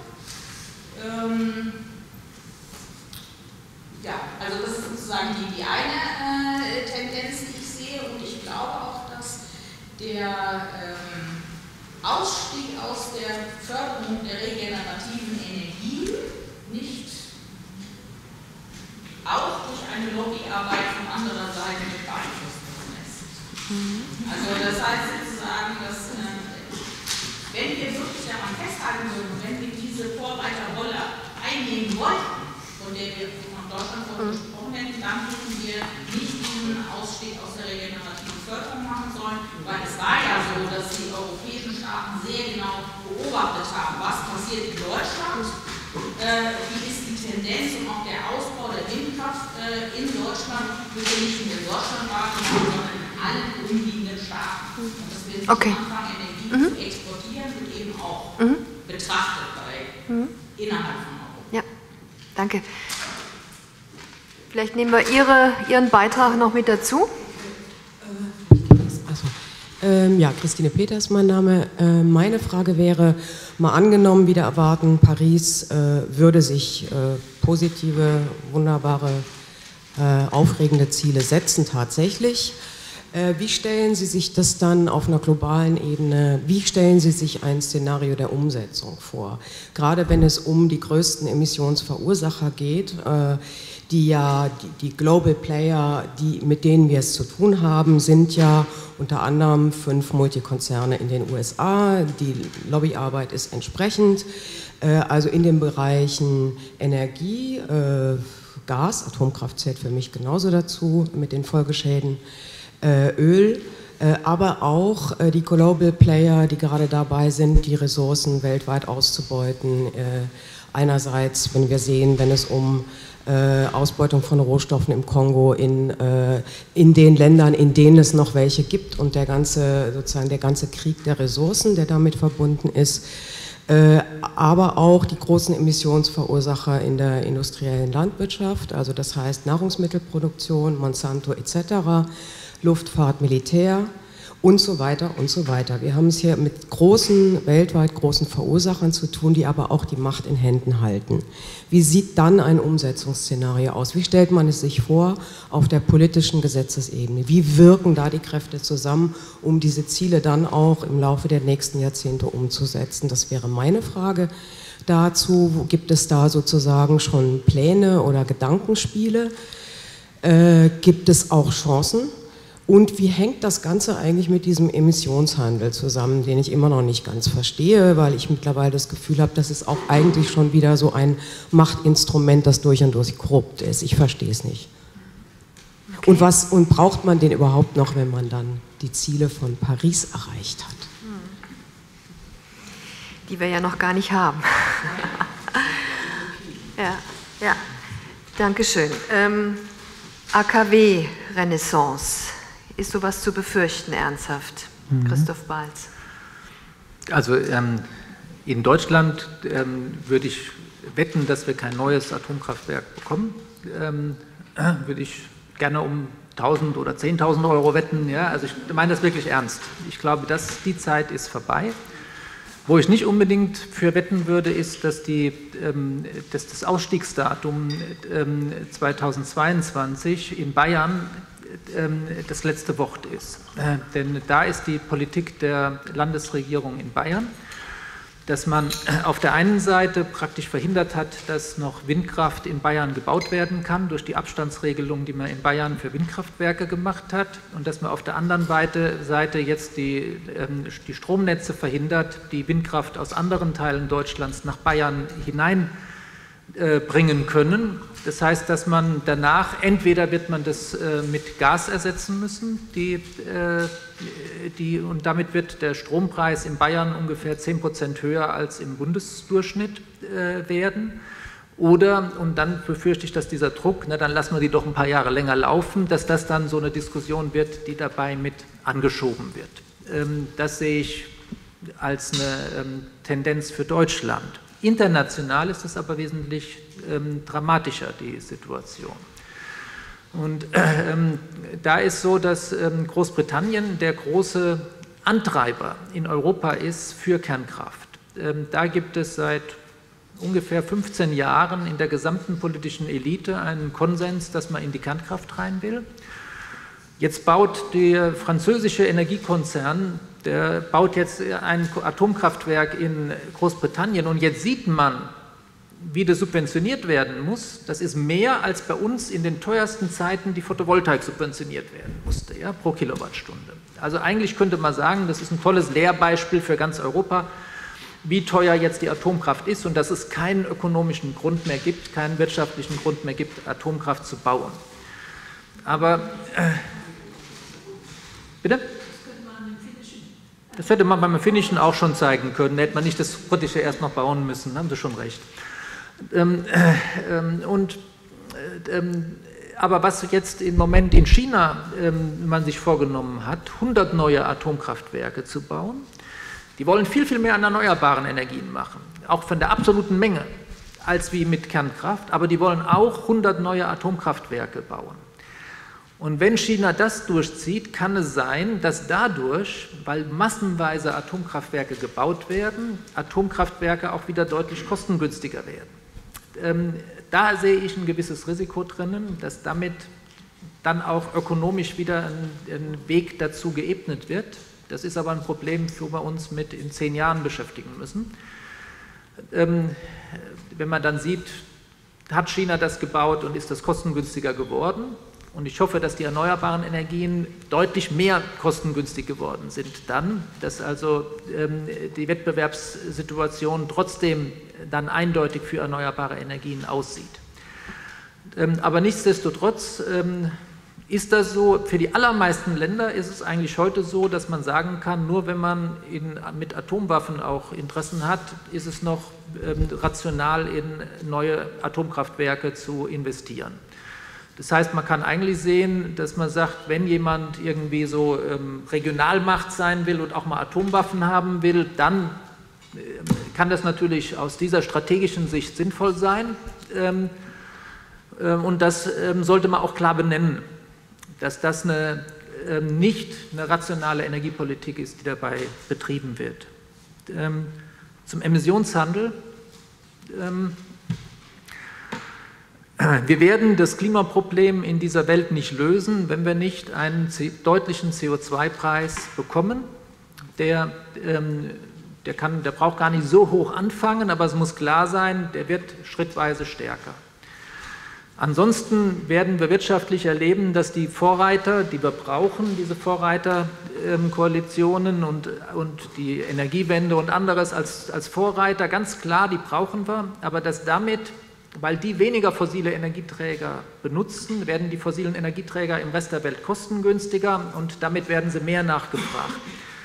Und wir brauchen diesen CO2-Preis. Und da ist jetzt die ähm, CO2-Steuer oder Abgabe ist der eine Weg, wie man das machen kann.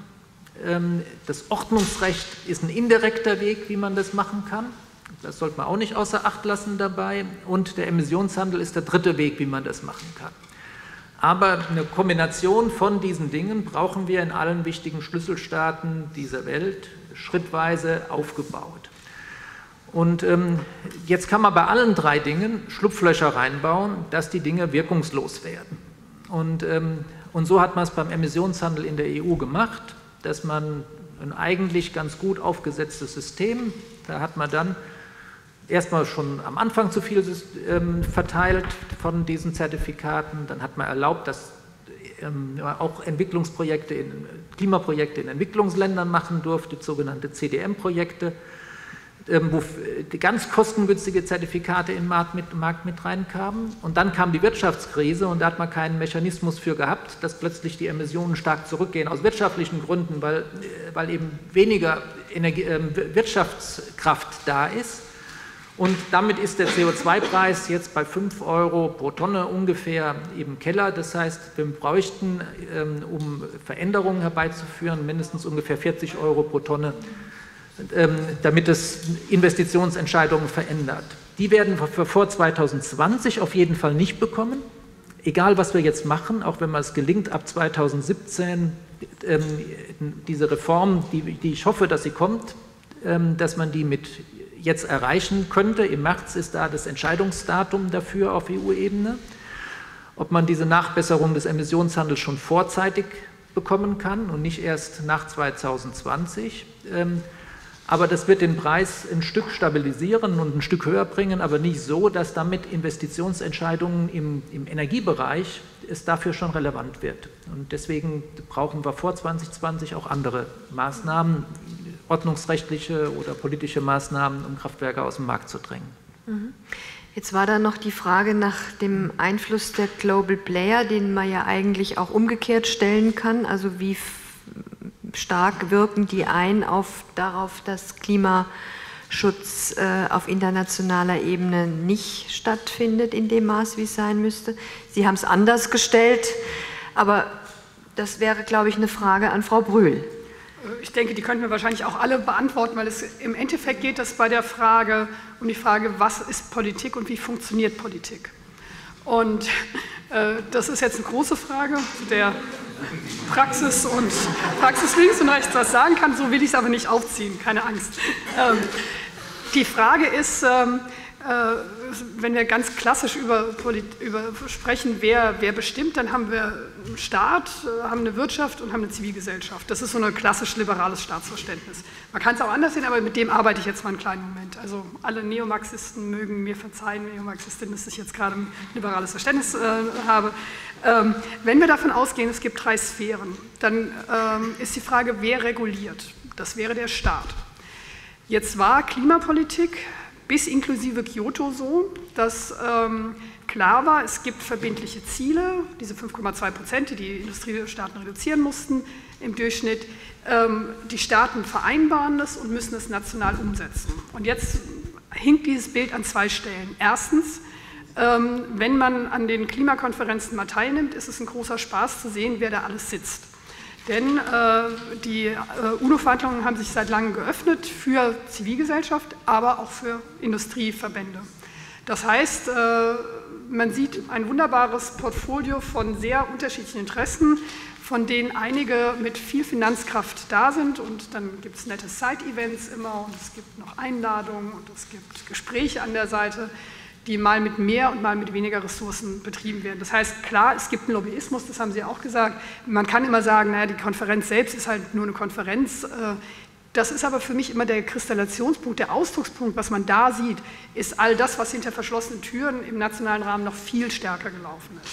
Das heißt, klar gibt es einen Lobbyismus. Aber trotzdem, jetzt ist die Frage, wie geht man damit um? Lobbyismus von allen Seiten, auch von, äh, von Germanwatch auch. Und dem, auch äh, dem Climate Action Network oder wem auch immer äh, an, an, Verbänden an, auf der in Anführungsstrichen anderen Seite. Was macht man jetzt? Also wenn man sagt, es gibt diesen Lobbyismus auch von Unternehmen, gibt es jetzt zwei äh, Sichtweisen. Die einen sagen, okay, äh, wir haben mit Staaten haben wir immerhin Personen, die mehr oder weniger demokratisch gewählt sind und deswegen müssen Staaten nach wie vor die Entscheidungsgewalt haben. So hat die Vereinten Nationen haben so funktioniert bis in die 80er Jahre hinein. Seit den 90er, Ende 80er, Anfang 90er Jahre sehen wir, dass sich da was verändert hat, dass in der UNO selbst das Verständnis ist, und die Klimaverhandlungen finden ja noch, Gott sei Dank, im Rahmen der Vereinten Nationen statt, dass sich ein Verständnis äh, geändert hat von Regulation der Unternehmen, also Top-Down, Staatengemeinschaft will Unternehmen, TNCs regulieren, hin zu, ach, wir haben so große Probleme und die Staaten haben so wenig Geld und dann gibt es noch die Bill und Melinda Gates Foundation im Umwelt, im Gesundheitsbereich und das könnten wir jetzt in allen möglichen Bereichen noch fortführen. Mit dem Gedanken ist es schlauer, Unternehmen, Unternehmensverbände mit an Bord zu nehmen, um global Probleme zu bearbeiten. Und an der Stelle oute ich mich immer als unglaublich äh, traditionell, weil ich dann sage, nee, das ist für mich nicht der richtige Weg. Ich bin Etatistin an der Stelle, ich glaube an den Staat als Regulierungsorganisation und deswegen bedeutet das erstmal, wir brauchen ein intergouvernementales, eine zwischenstaatliche Vereinbarung und nicht so ein freiwilliges äh, Partnerschaftsmodell, wie wir das im Entwicklungs-, Umwelt-, Gesundheits- und so weiter Bereich haben. Ähm, wenn man das äh, zu Ende denkt, ist halt die Frage, wie geht man dann mit Regulierungen an der Stelle, also wie, wie hält man das durch? Und dann brauchen wir an der Stelle Staaten, die sich, die, die sich einlassen. Und das ist der zweite Punkt, da haben wir, glaube ich, wirklich eine Differenz. Das würde ich gerne nochmal äh, in, den, in den Mittelpunkt stellen, weil wir bei ganz vielen Sachen deckungsgleiche Positionen haben. Es ist für mich ein Unterschied, ob es eine internationale Vereinbarung gibt, bei der verbindlich für alle Staaten feste Reduktionsziele gesetzt werden oder ob wir wie jetzt in dem EDP-Prozess angelegt, jeder Staat mal so sagt, ach, unser Basisjahr ist 1990, ach nee, das passt nicht so gut, unser Basisjahr ist lieber 2000 und wir reduzieren um 20, ach nee, lieber nur um 17 oder um 5 Prozent.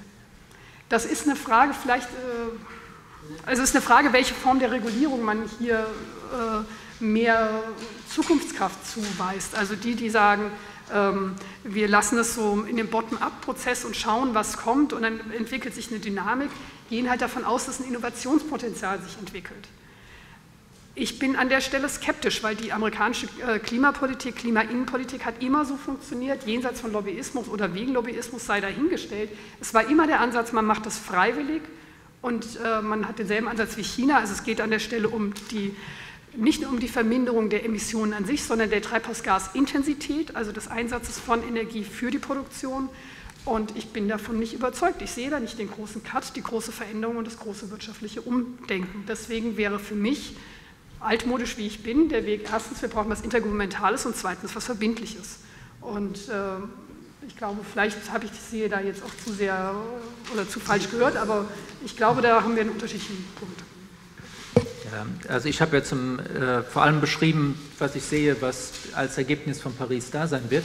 Ähm, äh, und ähm, äh, da ist die Idee, dass wir top-down ein Abkommen, wie Sie das jetzt gerade beschrieben haben, bekommen, ist tot, mausetot. Gibt es niemand der ernsthaften Akteure, die dieses Abkommen doch noch will. Ähm, von dem her ist das ähm, vorbei ähm, in meinen Augen. China will es nicht.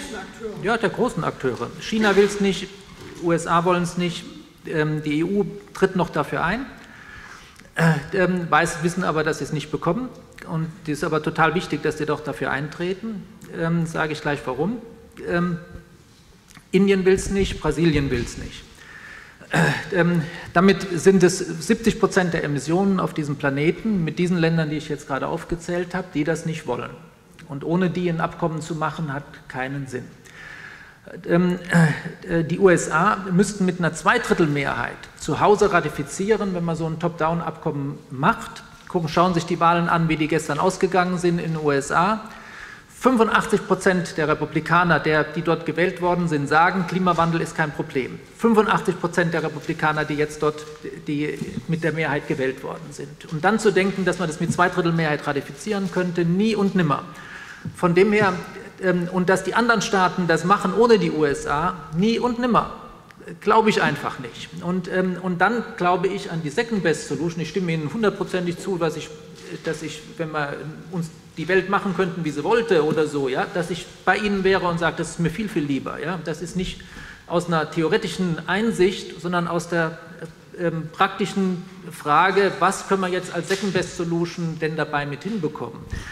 Und dann muss man jetzt aber nochmal abschichten. Ich habe nicht gesagt, wir bekommen jetzt so ein Abkommen, wo dann jeder sagt, na, mein Basisjahr ist das und so weiter und so, da, da, sondern das hoffe ich, dass wir das rechtlich verbindlich hinbekommen. Das heißt, dass wir jetzt diese Vergleichbarkeit, ähm, was ist eine Tonne CO2, die reduziert wird, da kann man sich ähm, alles, alles Mögliche einrechnen und abziehen und sonst was, dass das einheitlich gemacht wird dass das Basisjahr einheitlich gemacht wird oder dass es vielleicht für verschiedene Ländergruppen äh, festgelegt wird, dass man sagt, okay, für die Schwellenländer fängt man jetzt später an und nicht 1990 oder so, aber dass es dann für die einheitlich gemacht wird dabei. Ähm, äh, und äh, dass also diese Vergleichbarkeit, dass die rechtlich verbindlich geregelt wird in diesem Abkommen.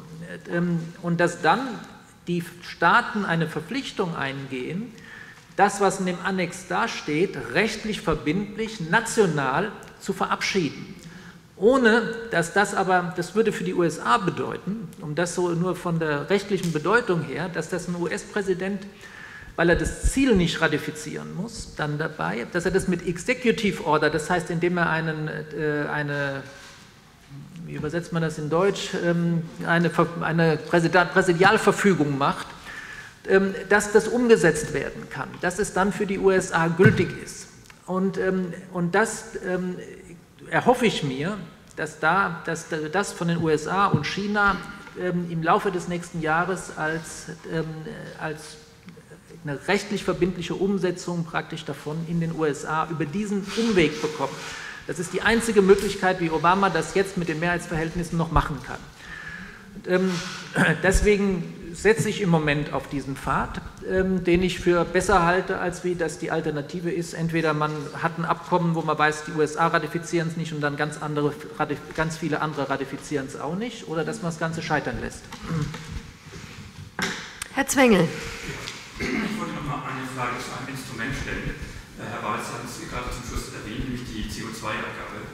Äh, die Schweiz hat ja, ich weiß nicht mehr genau wann, hat die CO2-Abgabe eingeführt Offensichtlich funktioniert sie bezogen auf das Ziel, die CO2-Reduktion zu erreichen, ziemlich gut. Und weil es eben keine Abgabe ist und, äh, und sie zurückfließt an, die, an diejenigen Haushalte, die auch CO2 eingespart haben, also Energie eingespart haben, äh, ist die auch sehr gut akzeptiert. Ist die Frage jetzt, warum spielt es in der bundesrepublikanischen äh, Diskussion eigentlich keine Rolle, eine CO2-Abgabe einzuführen, beziehungsweise bezogen auf die hessischen Verhältnisse wäre jetzt die Frage, wird Hessen vielleicht sowas regional einführen, thematisieren? Äh, oder wäre sozusagen eine andere Möglichkeit, sieben, äh, sieben äh, Umweltminister der Grünen starten eine, eine, Bundesratsinitiative? Möglicherweise ist ja am Ende der Koalitionsverhandlungen in Thüringen der achte schon am Horizont sichtbar und die Hälfte aller Umweltminister der Bundesrepublik Deutschland kommt aus unserer Partei. Das wäre ja sozusagen ein Hoffnungsschimmer, der sich möglicherweise hier auftun würde. Äh, wie, wie ist damit, warum, warum, spielt das keine Rolle? Ist es kein Instrument, das hier effektiver zu, äh, ähm, einzuführen wäre als die elendige Diskussion über diese Emissionshandelsgeschichte? Das, was Sie vorhin gesagt haben, die 40 Euro pro Tonne, das höre ich seit Jahren, die, die müssten wir haben, passiert hier aber offensichtlich nicht. Trotzdem funktioniert aber auf der Gegenseite eine andere Instrumentendebatte, sehe ich auch nicht. Frau Hinz? Fühlen Sie sich angesprochen? Naja, ich wurde ja angesprochen, aber ich äh, sehe nicht, dass, äh, dass sich da auf dieser Ebene in Deutschland was bewegen wird. Ähm, also Diskussionen über Abgaben sind ähm, nicht sexy, wenn ich das mal so sagen darf, ja, in, Deutschland. Das haben wir auch schon in anderen Bereichen ähm, äh, bitter erfahren müssen. Und äh, Bundesratsinitiativen machen nicht Umweltministerinnen und Umweltminister, sondern Landesregierungen. Und so wie ich die, schon die Diskussion empfunden habe bei der Umweltministerkonferenz, auch immer wieder zum Emissionshandel und auch äh, zu, äh, zu Fragen Klimaschutz, ähm, sind sowohl die A- als auch die B-Länder, das heißt also die Sozialdemokraten, Sozialdemokratinnen und auch ähm, die, die CDUler auf der anderen Seite sind sich da oft sehr viel, also sind sich da oft total einig. Ja?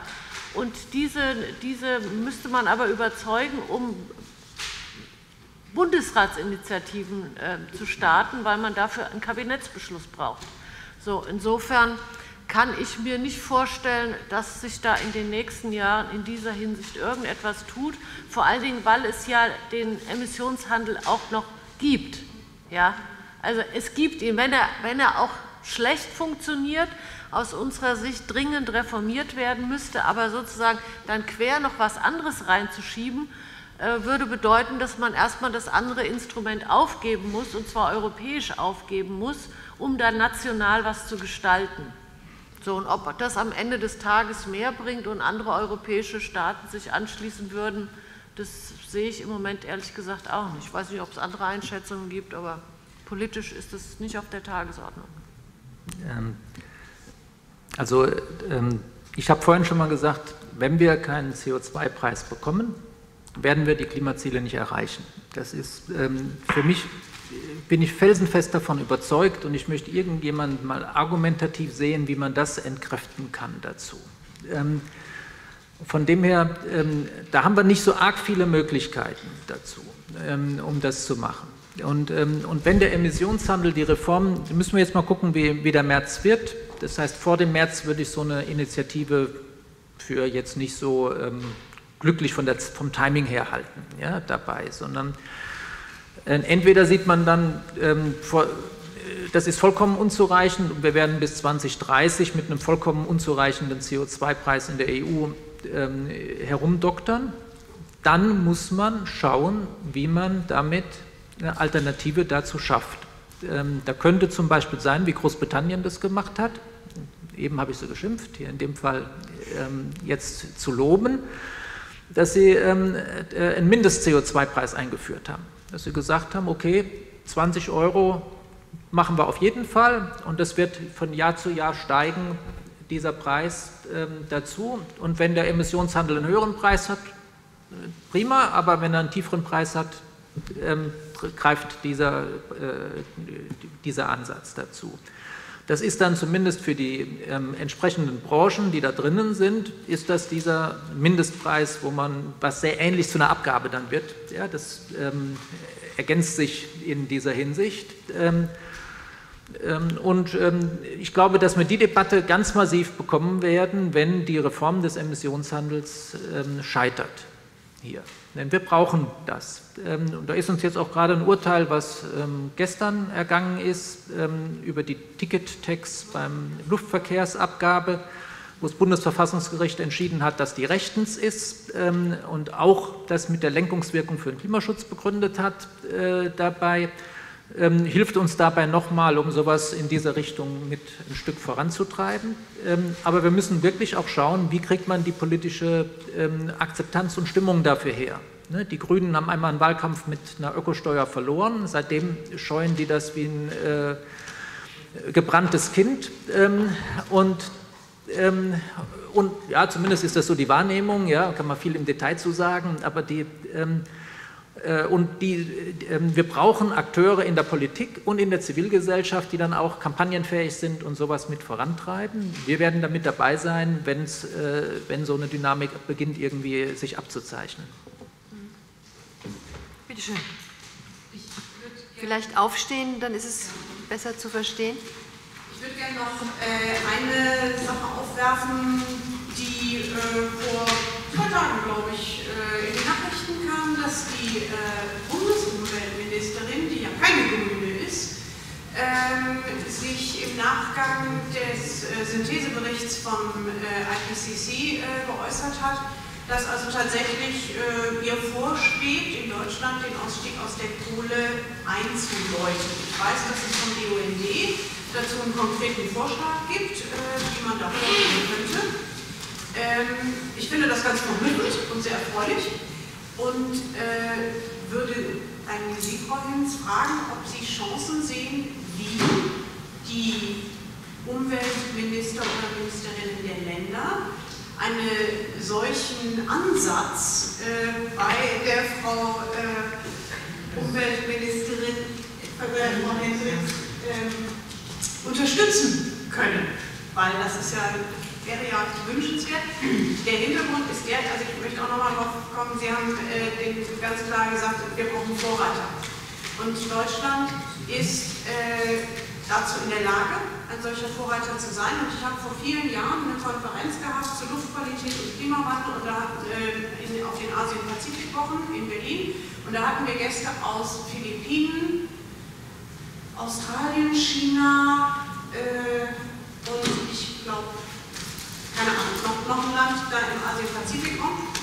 Und dann haben wir gesagt, ja, Deutschland und irgendwie und müssen natürlich alles noch viel besser und so. Und die haben uns nachher beiseite genommen und haben gesagt, wisst ihr was, ihr habt ja überhaupt keine Ahnung, das mag faktisch ein Tropfen auf den heißen Stein sein, was Deutschland an Emissionen tatsächlich vermeiden kann. Aber die Signalwirkung ist gerade für die hochemittierenden Länder Länder, die jetzt massiv in die Entwicklung gehen, Brasilien, China, Indien, äh, auch, auch Pakistan und so weiter, für die ist das hochinteressant, weil die die meisten Schäden durch den Klimawandel davontragen. Die haben ein massives Eigeninteresse und die gucken mit Argusaugen auf Deutschland. Und vor dem Hintergrund nochmal die Frage, was glauben Sie als hessische Umweltministerin, wie Sie diese Initiative, na ich sag mal, unterfüttern oder stützen können? Naja, dazu müsste sie erstmal genauer kennen, ehrlich gesagt, weil ich noch nicht genau weiß, wo das, wo das endet, was sie da gesagt hat. Also, so wie ich das verstanden habe oder nachgelesen habe, hat sie gesagt, ähm, die Ältesten, vier oder fünf Ältesten, ne, sollen. Ähm, doch, ich meine schon, also ich meine, ich habe es irgendwo gelesen. Vom BUND sieht das vor, so vorzugehen, dass man mit den Ältesten anfängt. Ich weiß nicht, ob sie sich darauf bezogen hat. Keine Ahnung. Ich habe, also wie gesagt, ich habe die, die Meldung äh, so wahrgenommen, dass sie gesagt hat, also die Ältesten, das äh, jetzt aufgrund dieses Berichtes, ähm, die Ältesten sollten stillgelegt werden. Und ähm, ich meine, also ich meine persönlich hätte gelesen vier oder fünf. So, das finde ich erstmal einen guten Ansatz, würde ich auch jederzeit unterstützen, dass man sagt, also man muss ein Ausstiegsszenario ähm, schaffen für die äh, Kohlekraftwerke. Und natürlich fängt man am besten mit den Ältesten an, weil die am meisten emittieren und äh, so weiter. So, jetzt ist aber die Frage, äh, es kann sein, dass das für eine Vorbereitung ist für äh, diesen Klimaschutzplan, diesen Aktionsplan, der da im Dezember äh, beschlossen werden soll. Ähm, jetzt ist dann nur die, Frage, die weitere Frage, ähm, ist sie dann auch so stark mit durchzuziehen, dass er sozusagen ein, wirklich ein Pfad wird, wo nach und nach alle stillgelegt werden mit einem festen Zeitplan? Und was bedeutet das für Neubauten von Kohlekraftwerken? Ähm, oder sagt sie halt, also das will sie einbringen, weil das sozusagen ihre, ihre, ihre Klimaschutzziele untermauern würde und dabei belässt sie es dann erstmal. Also es werden ein paar alte stillgelegt und dann geht alles so weiter und ein paar neue dürfen gebaut werden, weil sie einen anderen Wirkungsgrad haben und dann nicht so viel emittieren wie die ganz alten. Das wäre aus meiner Sicht nicht unterstützenswert, sondern nur, wenn die Alten wirklich der, der, der Abbau von Alten der Beginn ist zum Ausstieg aus der Kohle insgesamt mit einem Ziel, was man auch überschauen kann, Zeitziel. Jetzt sehe ich doch äh, so nach und nach einige müde Augen. Die Schlitze werden kleiner. ähm, vielleicht der Anlass dazu, so in eine Schlussrunde zu kommen. Ich würde dazu gerne so meine Lieblingsfrage mal stellen, ähm, nämlich die nach der also wie kriegt man eine gesellschaftliche Dynamik hin für Klimaschutz? Wir haben ja an verschiedenen Stellen gesagt, da braucht man auch einen Schub, um sowas zu erreichen. Das ist nicht nur quasi auf der Verhandlungsebene möglich. Wenn ich mir angeschaut habe, vor ein paar Tagen gab es große Demonstrationen in Polen für die Freiheit des Internets, und, ähm, aber nicht äh, für so. Bitte? Äh, Ungarn, in Ungarn, Ungarn, genau, aber nicht für soziale Fragen, nicht für ökologische Fragen, obwohl die dort ja auch äh, in hohem Maße stehen. Ähm, worauf ich hinaus will, ist Folgendes und bitte Sie vielleicht um kurze, sehr persönliche Antwort. Ist es denn nicht so, dass das, was Sie angesprochen haben mit den Global Players und dem Einfluss, dass das ja auch enorm stark damit zusammenhängt, dass wir alle irgendwo in unserer DNA sehr stark das Wachstumsdenken verwurzelt haben? Wir orientieren unser Leben daran, dass es aufwärts gehen muss. Die nächste Wohnung soll möglichst größer sein als die vorherige der nächste Urlaub ist in der Regel weiter als der davor. Äh, das nächste Einkommen, der nächste Beruf muss besser bezahlt sein als der vorherige. Also irgendwie sind wir daran, werden, messen wir uns selber daran, dass es aufwärts gehen muss und dass es letztlich mehr werden muss. Ähm, das sind natürlich Dinge, die sich dann auf der wirtschaftlichen Ebene widerspiegeln. Ähm, wie können wir da auch solche Fragen mit, mit einbeziehen? Also ist es nicht auch eine Frage der Kultur, dass wir schauen, wie leben wir eigentlich, ähm, was setzen wir für Prioritäten im Leben und kommen wir nicht letztlich nicht auch ein Stück weit darum herum, uns da auch ein bisschen selber in Frage zu stellen. Wer möchte beginnen? Ja, ähm, jetzt ist für mich eine Frage, ob wir auf diese offenen Fragen noch, die, die vorher waren, noch mit eingehen sollen oder soll man das ähm, Ach so, war noch was, Entschuldigung, habe ich jetzt ähm, richtig, ja. Also ich mhm. fand die Kohle-Frage ähm, ja. einfach nochmal hier ähm, wichtig, dass, dass wir die noch mhm. Mit ansprechen, ähm, denn wir werden ähm, jetzt, das wird in meinen Augen die zentrale Klimadebatte in Deutschland werden für die nächsten Jahre. Ähm, äh, äh, Energieeffizienz wird das zweitwichtigste Thema dazu. Und, ähm, und bei der Kohledebatte, ähm, äh, da werden wir jetzt im März, im, im Dezember den ersten Einstieg darin haben. Und da haben wir das Glück, dass im Moment wir einen grünen Staatssekretär im Wirtschaftsministerium haben, den Herrn Barke, ähm, der ähm, äh, begonnen hat, ähm, mal auszuloten, ob man in anderen Regeln die, die Kohle beginnen kann herauszudrängen aus dem Energiesystem. Und die haben jetzt äh, Gespräche mit verschiedensten, mit, mit E.ON, RWE, Vattenfall, ENBW und, ähm, und den STEAG-Kraftwerken, die von der Steinkohle dort mitgeführt werden, in den letzten Wochen geführt. Und, ähm, und in dem Kontext muss man das einreihen, was die Frau Hendricks dazu gesagt hat. Ähm, äh, werden die jetzt trotz des enormen Protestes, den jetzt ENBW, äh, den, den jetzt die IGBCE, die, die Bergbau- und Chemiegewerkschaft ähm, dagegen äh, organisiert, werden die den Mumm haben, diesen Einstieg mit zu beginnen? Das ist der erste, erste Frage. Und dann wird im nächsten Jahr es aber verschiedene Ansatzpunkte geben, hierbei nachzulegen und hier Schritt für Schritt in so einen Ausbauplan, so wie Sie ihn sich vorstellen und wie wir ihn uns vorstellen, ähm, dabei mit reinzukommen dabei. Ähm, äh, und da wollte ich nur alle sensibilisieren dafür. Das ist eine Sache, ähm, wenn es jetzt darum geht, sei es mit Compact, sei es mit den, äh, ähm, es wird verschiedenste Aktionen nächstes Jahr geben im Kontext, um noch mehr Leute als die 400.000 ähm, in New York, in Paris auf die Straße zu bekommen. Ähm, es wird von den Kirchen ein Pilgerweg dorthin organisiert werden, wo versucht wird, mit allen möglichen Orten, die man unterwegs besucht, zu mobilisieren und so weiter, ähm, äh, dass man hier wirklich dieses Kohlethema damit immer verknüpft und verbindet und dazu Druck mit aufbaut. Da komme ich zu der Frage von dir jetzt auch schon mit hin, wie kann man jetzt dafür organisieren dazu? Ich glaube, dass wir brauchen, die, uns deutlich zu machen, um was es denn eigentlich geht ähm, bei dem Klimawandel.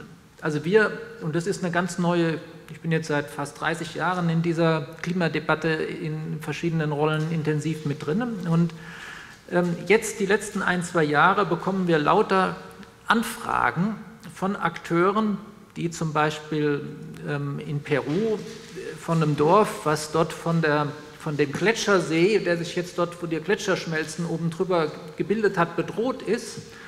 Und die sagen, wir haben bei der eigenen Regierung nachgefragt, ob die uns irgendwie schützen können. Und die haben gesagt, die haben nicht ausreichend Geld. Ähm, guckt ihr doch mal bei den größten CO2-Emittenten bei euch, ob ihr das machen könnt. Und vielleicht können wir auch gerichtlich versuchen, das gemeinsam einzufordern dabei. Ähm, das heißt, ähm, die, die sowas tritt hundertfach jetzt auf, nicht nur gegenüber Germanwatch.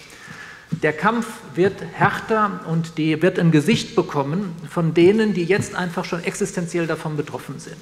Ähm, also wenn man darüber nachdenkt, wie kann man hier auch ähm, Resonanz erzeugen, ich glaube, dass das ein ganz wichtiger Teil davon ist.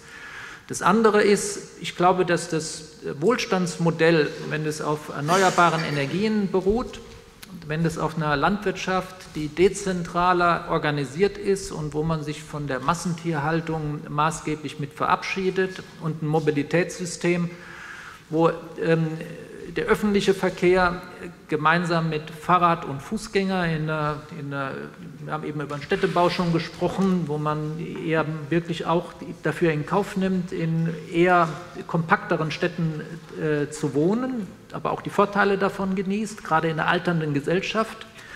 Ähm, und, ähm, und dann das Carsharing, ähm, ganz, ganz wichtig. Das ist so wie die Photovoltaik im Strombereich eine sogenannte disruptive Technologie. Die Photovoltaik hat das Geschäftsmodell der Energieversorger kaputt gemacht und äh, das Carsharing macht das Geschäftsmodell der Autoindustrie kaputt. Ein Carsharing-Auto, ähm, zumindest wenn es so in diesen, wo, wo die so zentral parken, was da steht, ersetzt acht Autos.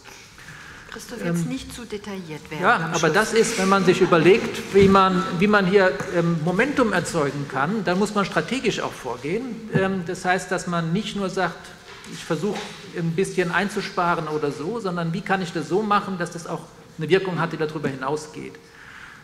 Letztes Wort. Ähm, das eigene Handeln ist total wichtig, um glaubwürdig dazustehen, um voranzukommen, aber es ist vollkommen wirkungslos, wenn man nicht die Politik dazu auch bekommt zu handeln.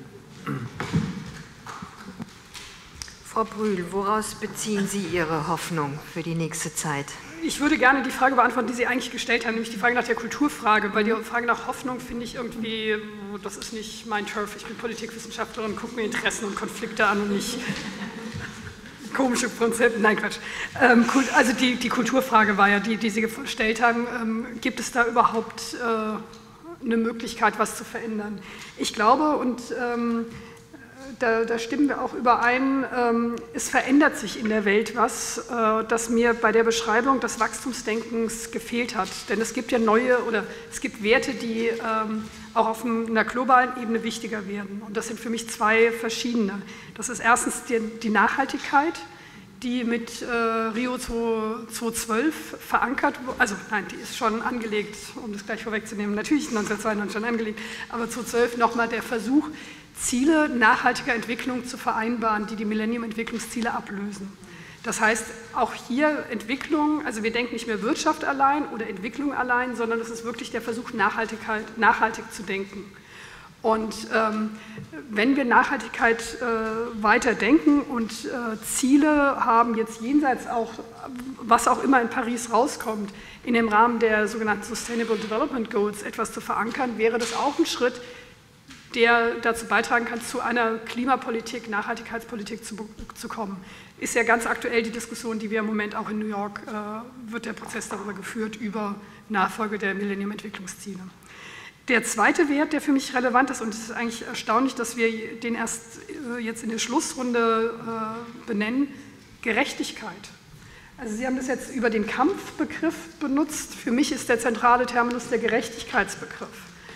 Ähm, wir haben auch hier äh, global äh, von äh, den Andenrepubliken über den Himalaya bis auch in die OECD-Welt eine Debatte darüber, was, ähm, was, sind überhaupt Ziele des Lebens. Also ähm, das, das, gute Leben, was macht das aus?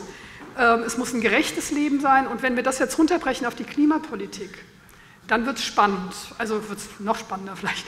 Es wird spannend äh, daher, weil, weil sich dann die Frage stellt, was, was ist denn eine gerechte Klimapolitik? Da muss Vergangenheit irgendwie reingezählt werden, also wer hat wie viel emittiert. Da muss aber auch äh, sowas wie, wahrscheinlich hat jeder, jeder ein Recht auf Emissionen. Es gibt eine Gerechtigkeit, die sich darüber ergibt, äh, wer kann welche Anpassungsleistungen leisten. Also der Klimawandel kommt.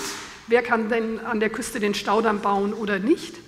Und diese Fragen werden dann relevant. Und wenn ich sage, die, die Kulturfrage sage, es gibt zwei neue Normen, die ganz handlungsbestimmend werden auf internationaler Ebene, nämlich die Nachhaltigkeit und die Gerechtigkeit, dann kann ich daraus ableiten, was bedeutet das denn auch wieder für eine deutsche Politik und damit würde ich gerne auch enden. Der Punkt, ähm, ein, ein, Punkt, der zur Gerechtigkeit noch äh, passt, es, wird, es ist inzwischen nicht mehr unumstritten und das schockiert mich und das kommt vor allem von den USA, dass das Prinzip der gemeinsamen, aber differenzierten Verantwortung handlungsleitend sein soll. Also es ist eine Debatte darüber, wer wer hat welche Verantwortung, wer muss was machen. Und an der Stelle ist es für mich relevant, dass, äh, dass die EU auch weiter dafür eintritt, dass eine größere Bringschuld nach wie vor in den Ländern des globalen Nordens ist. Ganz banal. Aber wir sollten es vielleicht auch mal aussprechen. Was heißt das? Das heißt Emissionsreduzierung und da kann man immer noch sagen, okay, kosteneffizienter ist das, wenn wir das über die CDM-Projekte oder wie auch immer in Ländern des globalen Südens machen. Aber es bedeutet auch Finanzierung. Und das ist ja wenigstens einer der wenigen Punkte, wo wir mal sagen können, da war die deutsche Bundesregierung relativ äh, früh dabei, weil sie äh, 750 äh, Milliarden nochmal für, ähm, für Klimaprojekte zur Verfügung gestellt hat. Und damit genau wieder ein Vorreiter äh, war, weil in New York ja dann nochmal andere Staaten auch mit aufgesprungen sind. Frankreich hat dann einen Tick mehr gegeben als Deutschland. Das funktioniert ja doch irgendwie immer nochmal. Ähm, also, dass im Rahmen des Finanzausgleiches ähm, etwas passiert. Finanzen bedeutet für mich nicht freikaufen. Also ich finde das, was Sie gesagt haben, absolut wichtig. Die Vorreiterrolle bedeutet auch wirklich Maßnahmen zu haben und zu sagen, das ist eine Anerkennung der eigenen Rolle. Aber es bedeutet zugleich Anpassungsleistungen zu, die müssen einfach bezahlt werden. Und die Länder des globalen Südens haben auch durch die Wirtschaftskrise nicht die Finanzen. Also müssen sie zusammen zur Verfügung gestellt werden. Ähm, und hier hat Deutschland einen Schritt getan und kann sicherlich noch immer einen zweiten oder einen dritten machen. Danke. Wenn ich eins korrigieren darf, es waren Millionen, nicht Milliarden. Ich habe, Entschuldigung, ich habe. Ich war nämlich bis zum Januar Haushälterin im Bundestag. Ich weiß ziemlich genau, dass es Millionen waren. Ich war bei den 2,3 Milliarden in New York waren. Oh, schon okay, danke, schon okay. Danke, schön wär's. Frankreich hat nicht mehr. Die haben das ist nur in Dollars gegeben, deswegen hört es sich mehr an. Deutschland. Okay, also das haben wir jetzt, das haben wir jetzt auch abgearbeitet. Ähm, also ich, ich finde das mit, der, mit dem Wachstum immer so, ich bin nicht grundsätzlich gegen Wachstum. Also wenn der ökologische Landbau wächst, finde ich total klasse. Ich tue alles dafür, dass er wächst. Ähm, wenn wir, wenn wir Wachstum haben im Bereich Forschung und Entwicklung, was äh, was so Effizienztechnologien, Energieeinspartechnologien, Umwelttechnologien, ist das richtig gut. Also deswegen finde ich das immer, also Nullwachstum und ich, das da kann ich nicht so viel mit anfangen, ja, auch wenn das in meiner Partei gerne ähm, so äh, diskutiert wird. Was mir wichtig ist, ist äh, tatsächlich auch, ähm, dass es eine äh, kulturelle Veränderung des Lebensstils geben äh, muss. Das bedeutet nicht, dass alle jetzt in Sack und Asche gehen und äh, man sich nichts mehr leisten darf oder nicht gut leben darf, sondern ich glaube eher, dass wir nur mit einem guten Klimaschutz auch weiter gut leben können und dafür müssen wir das Leben verändern. Ich habe was ganz, ähm, also mir ist auch das Thema Nachhaltigkeit äh, in dem Zusammenhang unglaublich wichtig und vor allen Dingen ähm, äh, die, die ähm, Bildung für nachhaltige Entwicklung. Ja? Weil ich glaube, dass wir auch im Endeffekt nur an den Lebensstilen was insgesamt verändern, wenn wir bei den jungen Leuten anfangen. Und ähm, da ähm, habe ich jetzt mehrere tolle Sachen erlebt, weil wir äh, im Rahmen unserer Nachhaltigkeitsstrategie in Hessen ähm, die, die ähm, Umweltbildungszentren unterstützen, die auch Module, Unterrichtsmodule entwickeln für Schulen, die ich dann auch besucht habe und wie sich junge Leute mit dem Thema identifizieren, sowohl gesunde Ernährung, ganz erstaunlicherweise gesunde Ernährung, ja, weil sie nämlich dann auch selber kochen, einkaufen gehen und so weiter und es total klasse finden, bis hin zu dem Thema, wo wird eigentlich mein T-Shirt produziert und warum ich, kann ich das hier für drei Euro kaufen und was hat das eigentlich auch mit Klima zu tun, jenseits von den Fragen Kinderarbeit und Ähnliches. Das prägt, glaube ich, am Ende auch ähm, äh, das Denken und hoffentlich auch, weil sie dann äh, äh, weil sie dann Optionen haben, wie sie sich anders verhalten können ja, wenn man sie darin stärkt, erstens in Informationen, in möglichen Verhaltensmustern, andere Rahmenbedingungen, sich auch anders zu verhalten, dass sie dann, wenn sie die Wahl haben, sich anders zu entscheiden, das auch tatsächlich bewusst tun. Und das ist jedenfalls ähm, das, was ich ähm, total wichtig finde und gut finde. Und damit ändern sich auch Werte für so eine Verantwortungsgemeinschaft, wie es auch ein Staat und eine Gesellschaft sind. Ja. Und ähm, ja, da will ich dran mitarbeiten in Hessen. Wunderbar. Ganz, ganz herzlichen Dank ähm, Ihnen. Sie waren ein super kompetentes und engagiertes äh, Podium. Jeder einzelne von Ihnen. Frau Hinz, vielen Dank. Frau Brühl, Herr Balz, dass er es auch noch geschafft hat, rechtzeitig zu kommen. Sie für Ihre Aufmerksamkeit bis zum Schluss und Ihre Beiträge. Vielen Dank und ich wünsche Ihnen allen an allen Stellen, an denen Sie arbeiten, dass Sie erfolgreich sind, was immer Sie auch tun.